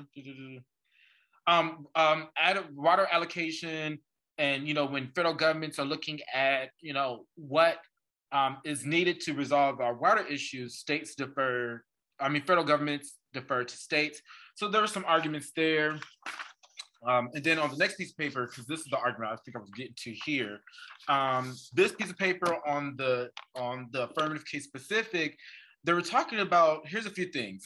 so I know some of the kids may not know about this. So um, in well, let me go back actually, because I need to go back to the correct piece of paper. So go back to the the counter plan. Um, there was a part where Mr. Murphy was talking about um, moving target, education, um, um, you know, when you sever from the immediate plan, how that you know creates some issues and how they're fiating their solvency. So one thing I want to talk about first is fiat. Fiat is basically a Latin term that says to kind of it's almost like the like the how we use resolved um, in the beginning part of the topic. So it's just saying that you know this we don't have to worry about whether this plan will or not exist. It's the fact that the plan will be implemented and let's talk about what's going to happen after that plan is implemented. We're not having conversation of will it pass or will it not pass? The conversation is about will it be implemented? So and what are the effects of that implementation? And so here um he was saying that basically the implementation of the AFS plan will not automatically bring about solvency, right? There has to be some steps that gets to that solvency. And it's just a matter of, you know, now brings the question of which has the better course of action? Is it states? Is it federalism? Because again, if you want to go back to what Amy was saying, um, she made this example about Kentucky, where you know Kentucky is not as maybe like California, which is probably is more pro environment, more pro you know diversity. On literally two few blocks from my house, there's a restoration habitat area in Maryland, you don't find that where I'm from. You know, you don't just a few blocks from my house is just the hood. It's just the wires. So, you know what I'm saying? Um, where in California, there are more, you know, incentives for recycling and those types of things. And so when he's talking about education and moving target, target and those things, those are theory arguments, and we'll probably get to theory arguments later on. But that when you make arguments about that, that's just arguments about how you conducted the debate and how the debate is going to be conducted as debaters. And we can kind of control those norms and, you know, but we want to, he had reasons as to why we should defer to his particular norms rather than Amy's. So that's something you want to think about on the flow as well. And then, um, oh, back to the case, because I know I'm flipping. I, I went back to the the uh, the, the counter plan. I'm gonna go back to the case. There was a few arguments about enforcement again, how um, funding is better through the state, and then there were some other arguments about how we don't like degrowth is bad, and degrowth is bad for those communities that the the affirmative says are even more um, affected by you know environmental degradation. So um, yeah, that's kind of the debate so far, from what I understand it. Um, hopefully, your coaches will probably you know, have some more questions. If you have questions, students, about this debate even more, um, please feel free um, to shoot me an email. But we're going to keep it going, and we'll probably have some more conversations um, at the end of the debate um, from everybody.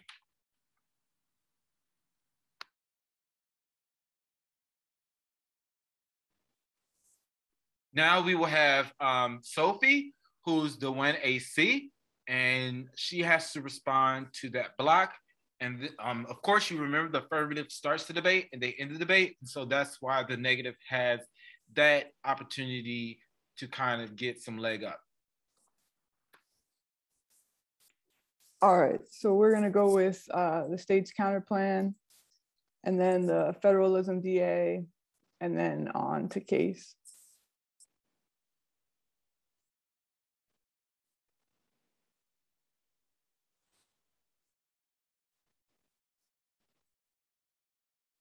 Good.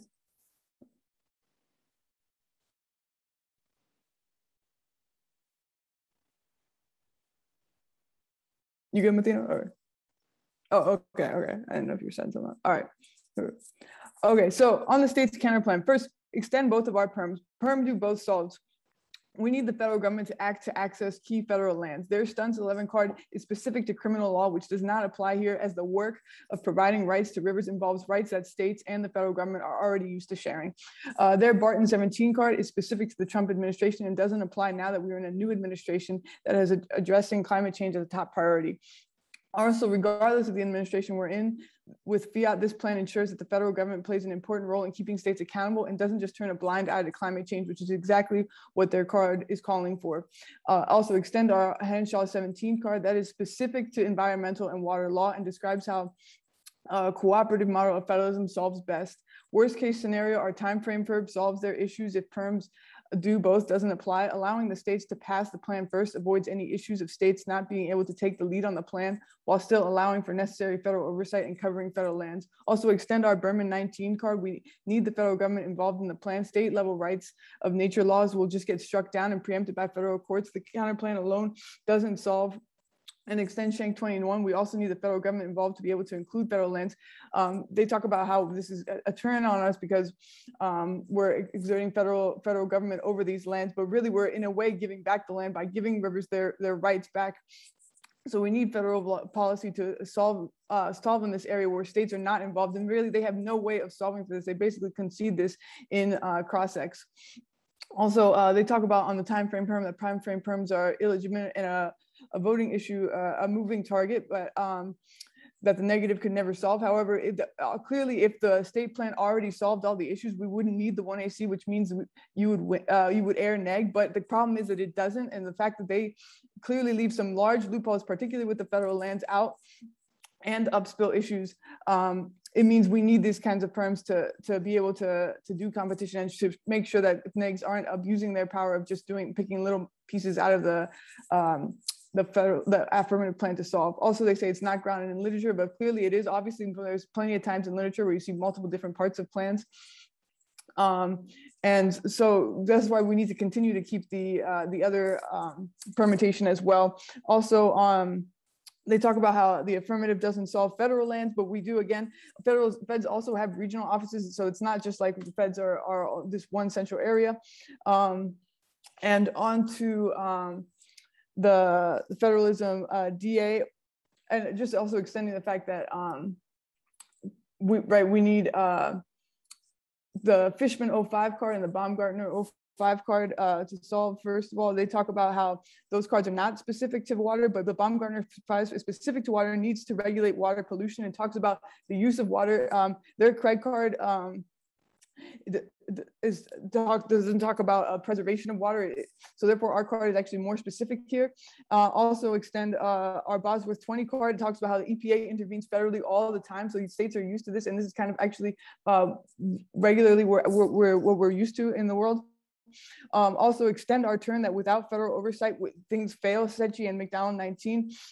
This is the reason why we also uh, need the federal government involved. Uh, um, and without the federal government actually providing oversight to things like conservative states, which are clearly not going to solve, as they said, um, in in cross-ex plans, states get to do their thing the way they want it to, and we know that state conservative states aren't going to do as much as the federal government will right now. Also, onto the case. Um, we didn't draft the Wilson card. The Neville card was a direct turn to that.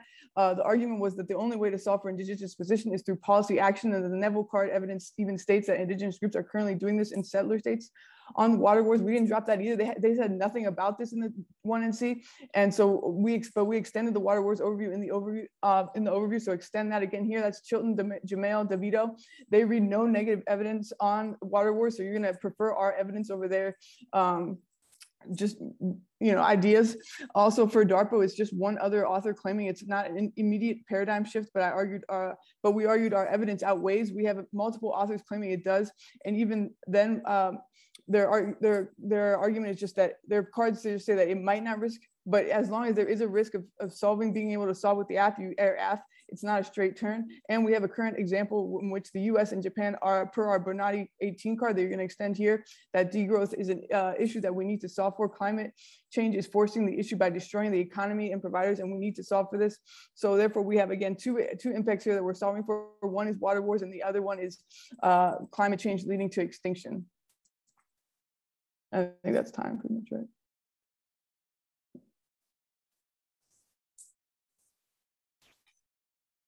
So yeah, so hopefully you can see um, with how um,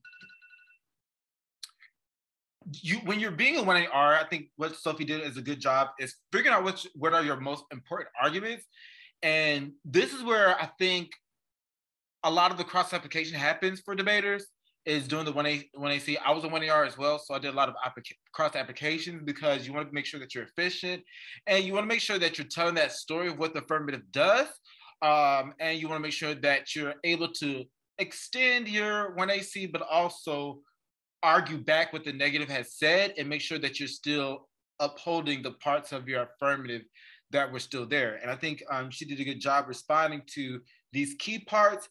Um, and also, um, when you, uh, we're talking about this competition of who has the better competition and you know making the affirmative unique um, as a unique reason to do that action um, is what what the affirmative should be doing right? Like the affirmative job is to present the a plan that is uniquely beneficial and that would be significant significant enough to create change. And so she highlighted two major things that was her focus of resolving, which was water wars and climate change. Um, again, she was talking about how you know the EPA makes the DISAD um, federalism non-unique, right? We already have these agencies already being involved, getting these states in order, creating a standard of what we should. There should be a standard nationwide, right? Like even though I get that Kentucky may need some more enforcement or Kentucky may need be one of those states that needs more funding. Um, and because, I, and to some degree, to, to what um, Will was saying in his 1NR is that, you know, in order for there to be, there needs to be state equity to create actual climate change, right? But then Sophie then says, hey, I understand we need equity, right? Like real equity within states to create real change but there still needs to be some at least man- manageable standard, right? Screw your debate theory standards of how we should conduct this debate, right? But there's actual standards within the environment that we should have, no matter if you're in California or no matter if you're in Texas, right? And so that's what I think Sophie is kind of articulating. And there were some other arguments there, but those were some of the ones that stood out to me. Um, and so at this moment, we're going to try to have our last two speeches. Um, so the next speech will be the last speech from the negative, and then it'll be the last speech from the affirmative.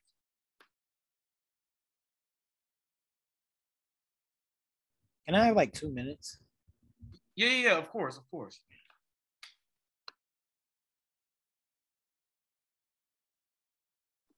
Um, also, students, um, when you're watching this debate, I want you to not only flow this debate, but think about who is winning the argument for you.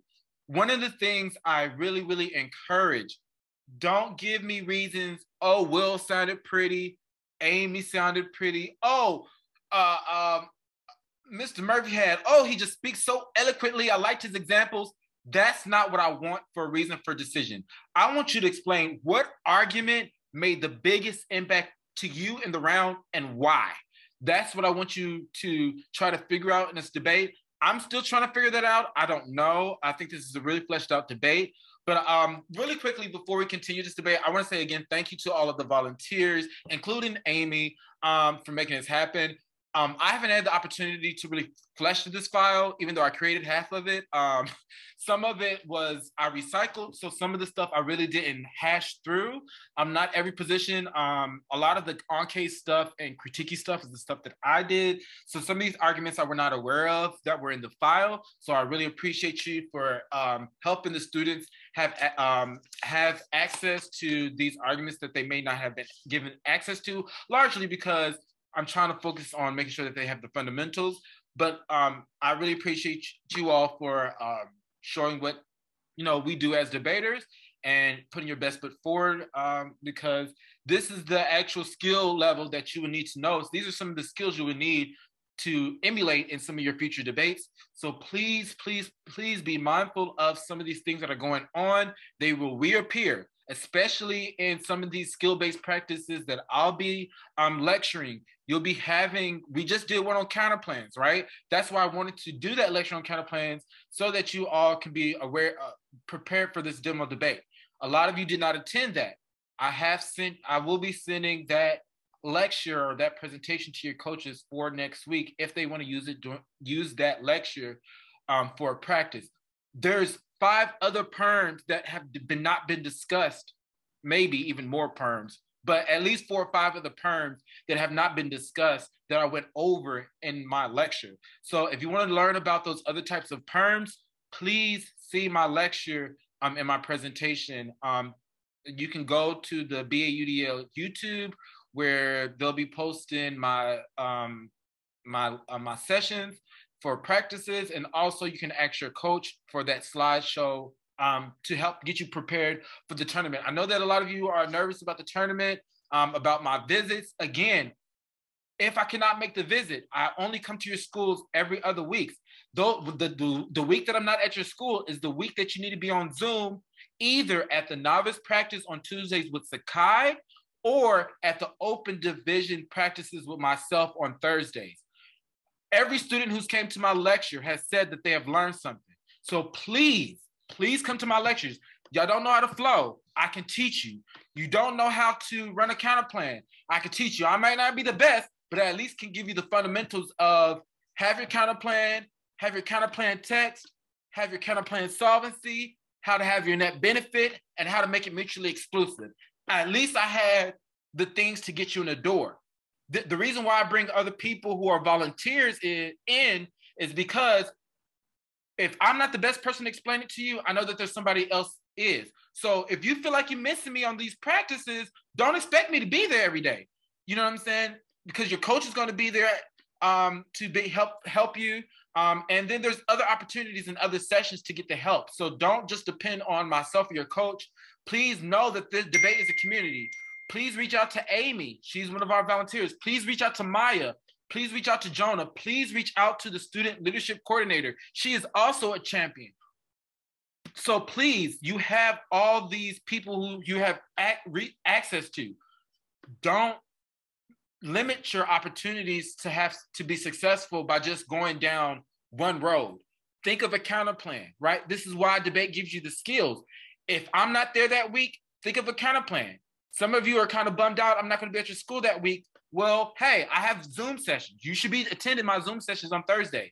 So don't be texting your coach saying, hey, are you going to come and visit this week because I was there last week and you missed me? No, you have tons of opportunities to see me every week, either via Zoom or in person. So I'm available. You have my, I have two phone lines. I pay for a phone line, okay? Just for you debaters. So hit my phone line up. There's a signature at the end of my email where you have my, uh, my information. I get paid to do debate 24 7.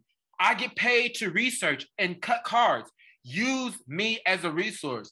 I will have volunteers that I can possibly have. If I'm not the best person to, to create that argument, I will find somebody. But please, if you're not coming to me, I'm not going to do the work for you, right? So you have to come to me. So if you have questions about this debate, if you have questions about how to flow this debate, if you have questions about things you want to know about the content of what's going on in these arguments. I probably haven't gone through the, all of the files, but I'll go through the file when I need to, if I need to go through it with you to be able to explain these arguments via the card or via what I think the card is extrapolating. All right.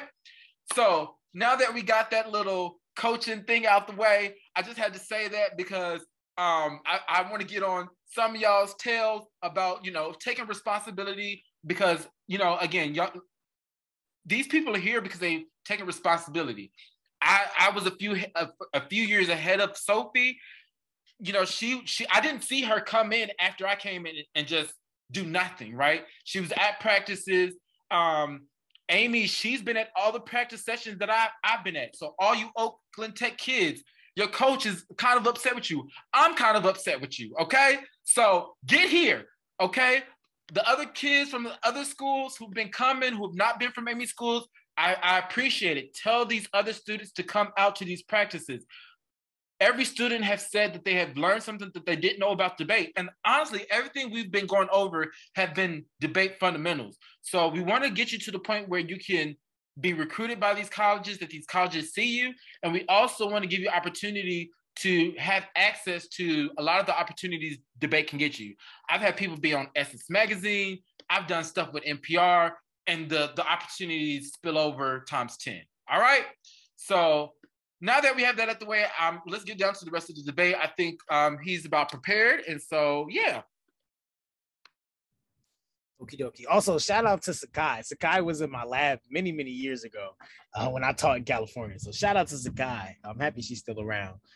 All right. Um, the order will be the counter plan, uh, the disadvantage, and then the affirmative the counter plan, the disadvantage, and the affirmative. All right. Everybody good? Okay.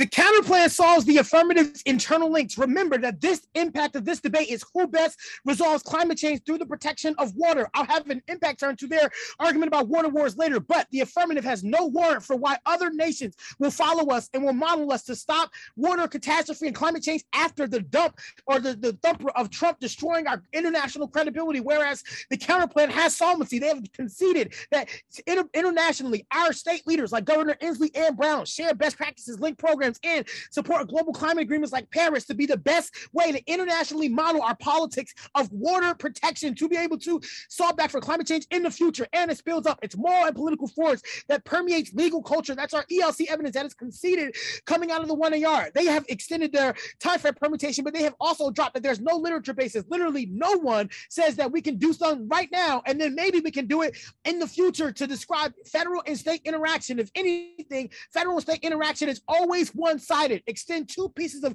really important evidence. First is our Stuntz evidence. Yes, it may be in the context of criminal law, but it explains how legal doctrine is ignored from the state or uh, from the federal level when it comes time for them to work cooperatively with the states, which means the permutation ends up as the federal government acting alone and over determining states' rights and destroying their capacity to be modeled internationally to solve back for climate change, which means the permutation links to our net benefit of federalism being the best international system, not only to solve climate climate change, but for nuclear war. Additionally, they have conceded our uniqueness evidence that indicates that the federal government not only oversteps on, on the state project of water protection or water scarcity, but it also undermines their capacity to do well, which means it's a solvency deficit that the permutation does not solve climate change, but the counterplan alone does a much better job of doing so.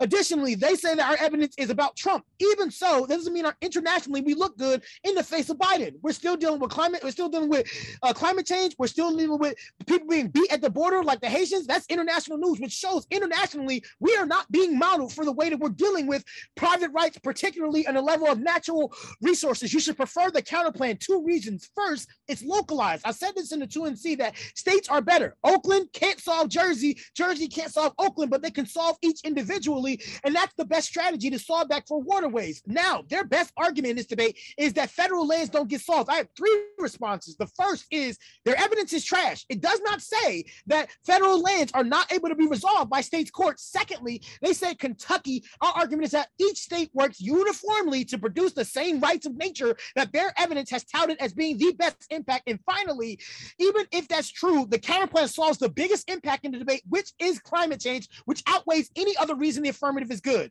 Go to federalism.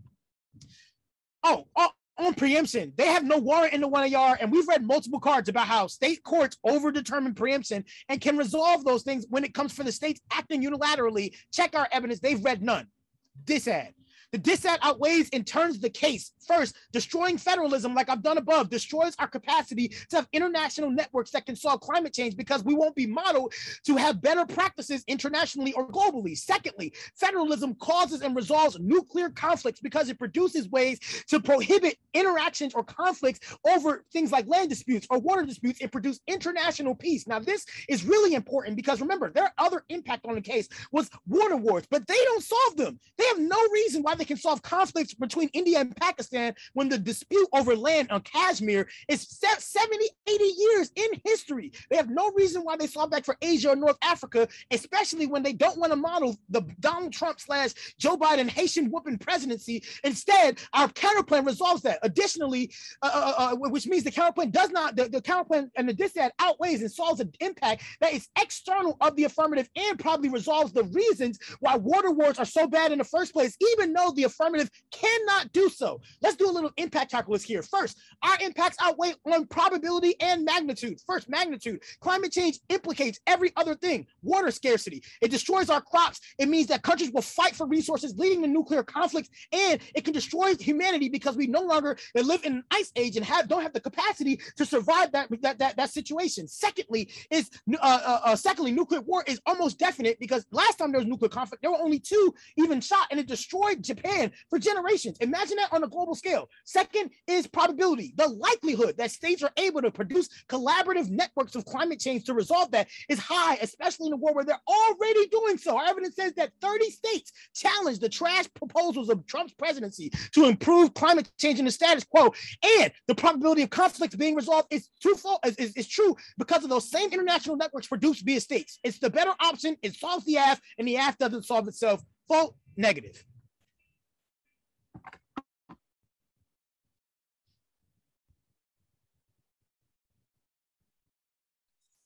Okay, debaters.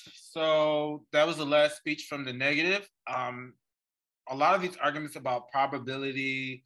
Um, so just to be mindful, there when, when you're measuring your impacts, here's a fundamental thing that you will need to use because a lot of you all don't have fundamentals. When thinking about we, me and Amy, which you'll see, um, we did um, in our first in my first open um, league based skill practice, we did a kind of an apocalyptic hypothetical um, debate activity where we did hypotheticals with like um, shark tornadoes and meteorites, and there was three ways that we um, were able to measure which would be the worst scenario. Um, and the the way that we did that in that activity was time frame, probability, and magnitude. So you'll hear those um, those phrases a lot. Time frame is just a matter of like when is it going to happen? Probability, how likely, magnitude, how much it'll impact you. So just be mindful when you hear those terms. Um, some things that were brought on this debate. Um, again, you, uh, stuff about you know how the federal government is probably not the best after Trump's rollbacks on environmental um, protection. There was arguments about um, also how you know indigenous people already fighting now, um, and that probably they'll probably be more involved with state recourse of action rather than with federal action because federal actions again they re-extended this argument, but a little bit with more um, extrapolation as to why federal governments wouldn't be as peaceful in terms of optics. Um, and then um, also too that um, that um, that basically the AF doesn't have any reason why that there will be like any increased indigenous like participation, but um, already in the status quo, like there are indigenous folks like participating in court and legal action and state um, action. So that was another argument. But again, I'm gonna um, allow you to think about some other arguments I might be thinking about. Please, please, please make sure you're taking as many notes as you can. Um, and we're gonna finish this debate with a 2AC, I mean 2AR, which is the last um, constructive, and this is the last um, part of the debate. I can I also get a little bit of time? no, no problem. No problem. No problem.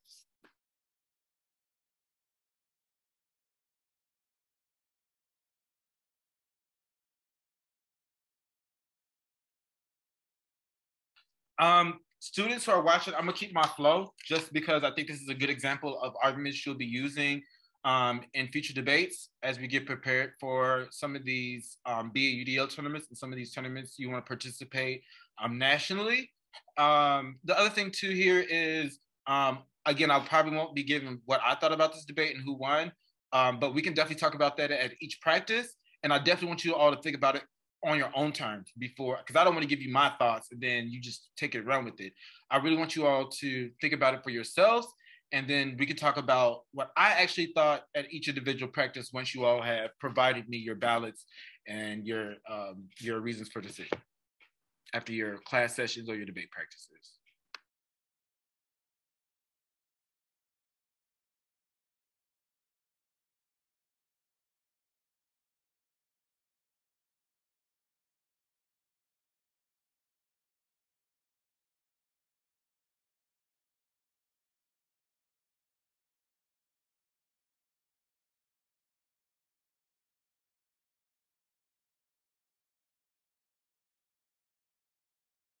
Overview. First, our perms mean we access the disad and counterplan solvency, all impacts, and all solvency is on the AF side here. You have no choice but to vote for the affirmative if you buy our perms. How do we outweigh? Extend our Schaefer 18 card here. Any framework that attempts to solve by prioritizing human needs fails. Extend our Neville uh, 18 card. We solve for indigenous rights too. Extinction and nuclear war outweigh. Will it be easy to solve? No, but it is a managed way out, not immediate, because we don't do these things because they're easy. We do them because they are hard. Vote for the affirmative.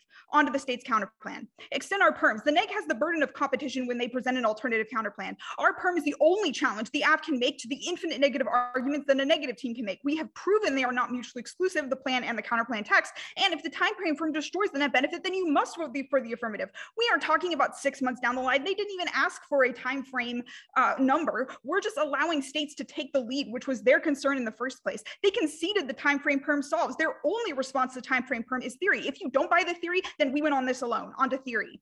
Don't buy this, it's not a voter. You have to give the affirmative space to challenge the legitimacy of counterplans. Timeframe perms are not new or something they had no way to expect. Our evidence demonstrates state and federal cooperation. So we didn't drop the no literature argument despite the fact that they claim that. We presented timeframe literature via our cooperative federalism card. This is our Bosworth 20 card extended here.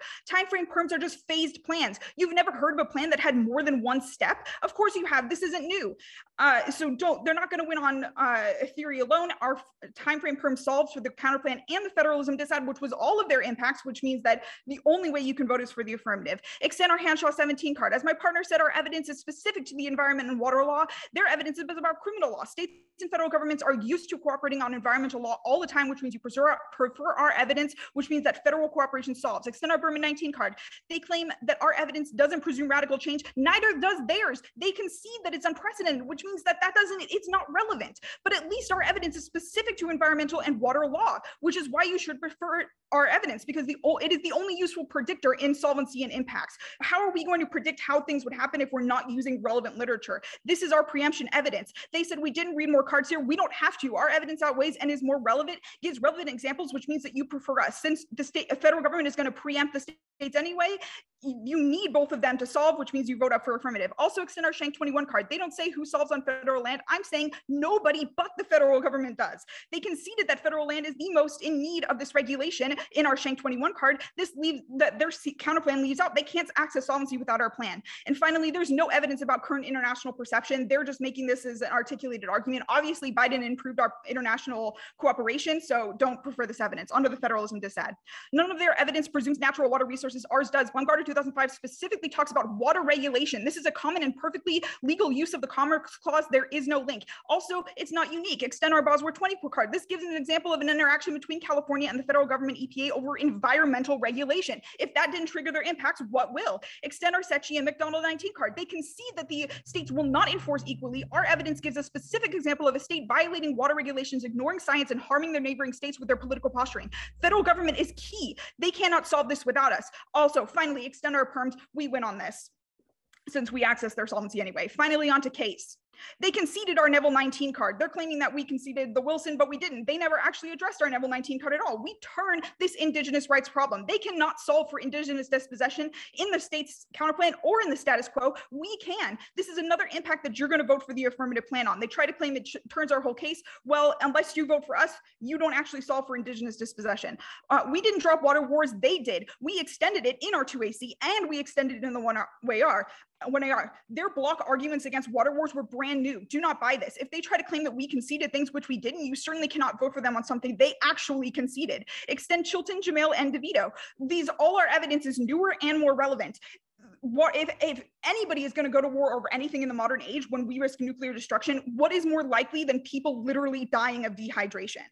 Uh, we also we solve for environmental destruction extend our Rockstrom, 4, Rockstrom 14 card from the 2AC. The scale of this is immense. You must vote for us. I don't even need to give you magnitude, time frame, and probability because all impacts are on the aft flow, but here they are anyway. Magnitude, there's nothing bigger than extinction via climate change. That is what happens when rivers disappear. B, time frame, we went on this too. Degrowth is happening right now. Extend our Bonaiuti 18 card. And then finally onto probability. Degrowth is happening right now, whether we want it to or not. We can let it destroy our economy, our environment, our environment, our indigenous populations, or we can pass the affirmative plan with the perm, which is the best version of solvency you're going to get in this round. And that's why you're going to vote for the affirmative.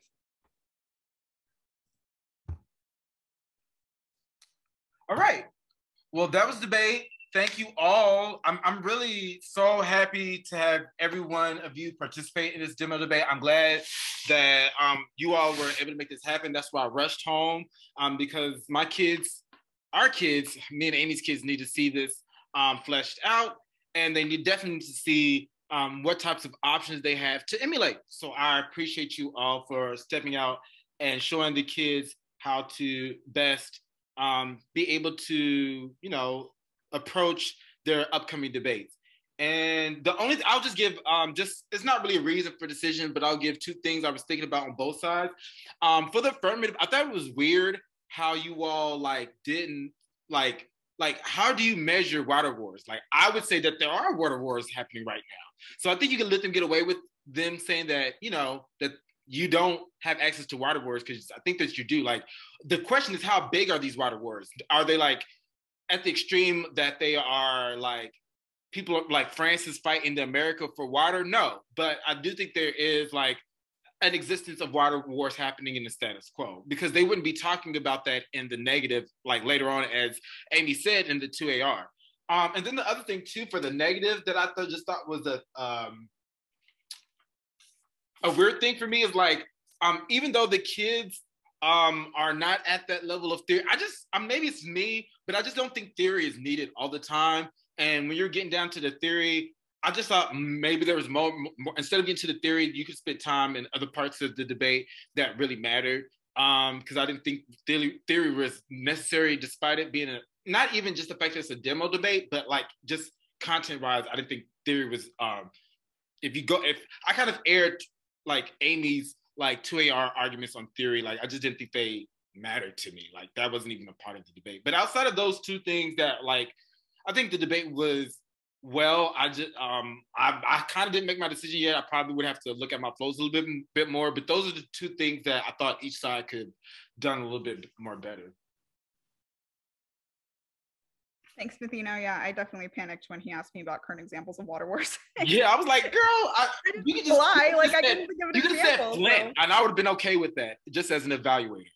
Yeah, that's a good point. That's a good point. That was a panic reaction, so sorry. no, but uh, again, like as I'm not going to give too much because again, I'm probably going to talk more about this stuff in each individual class.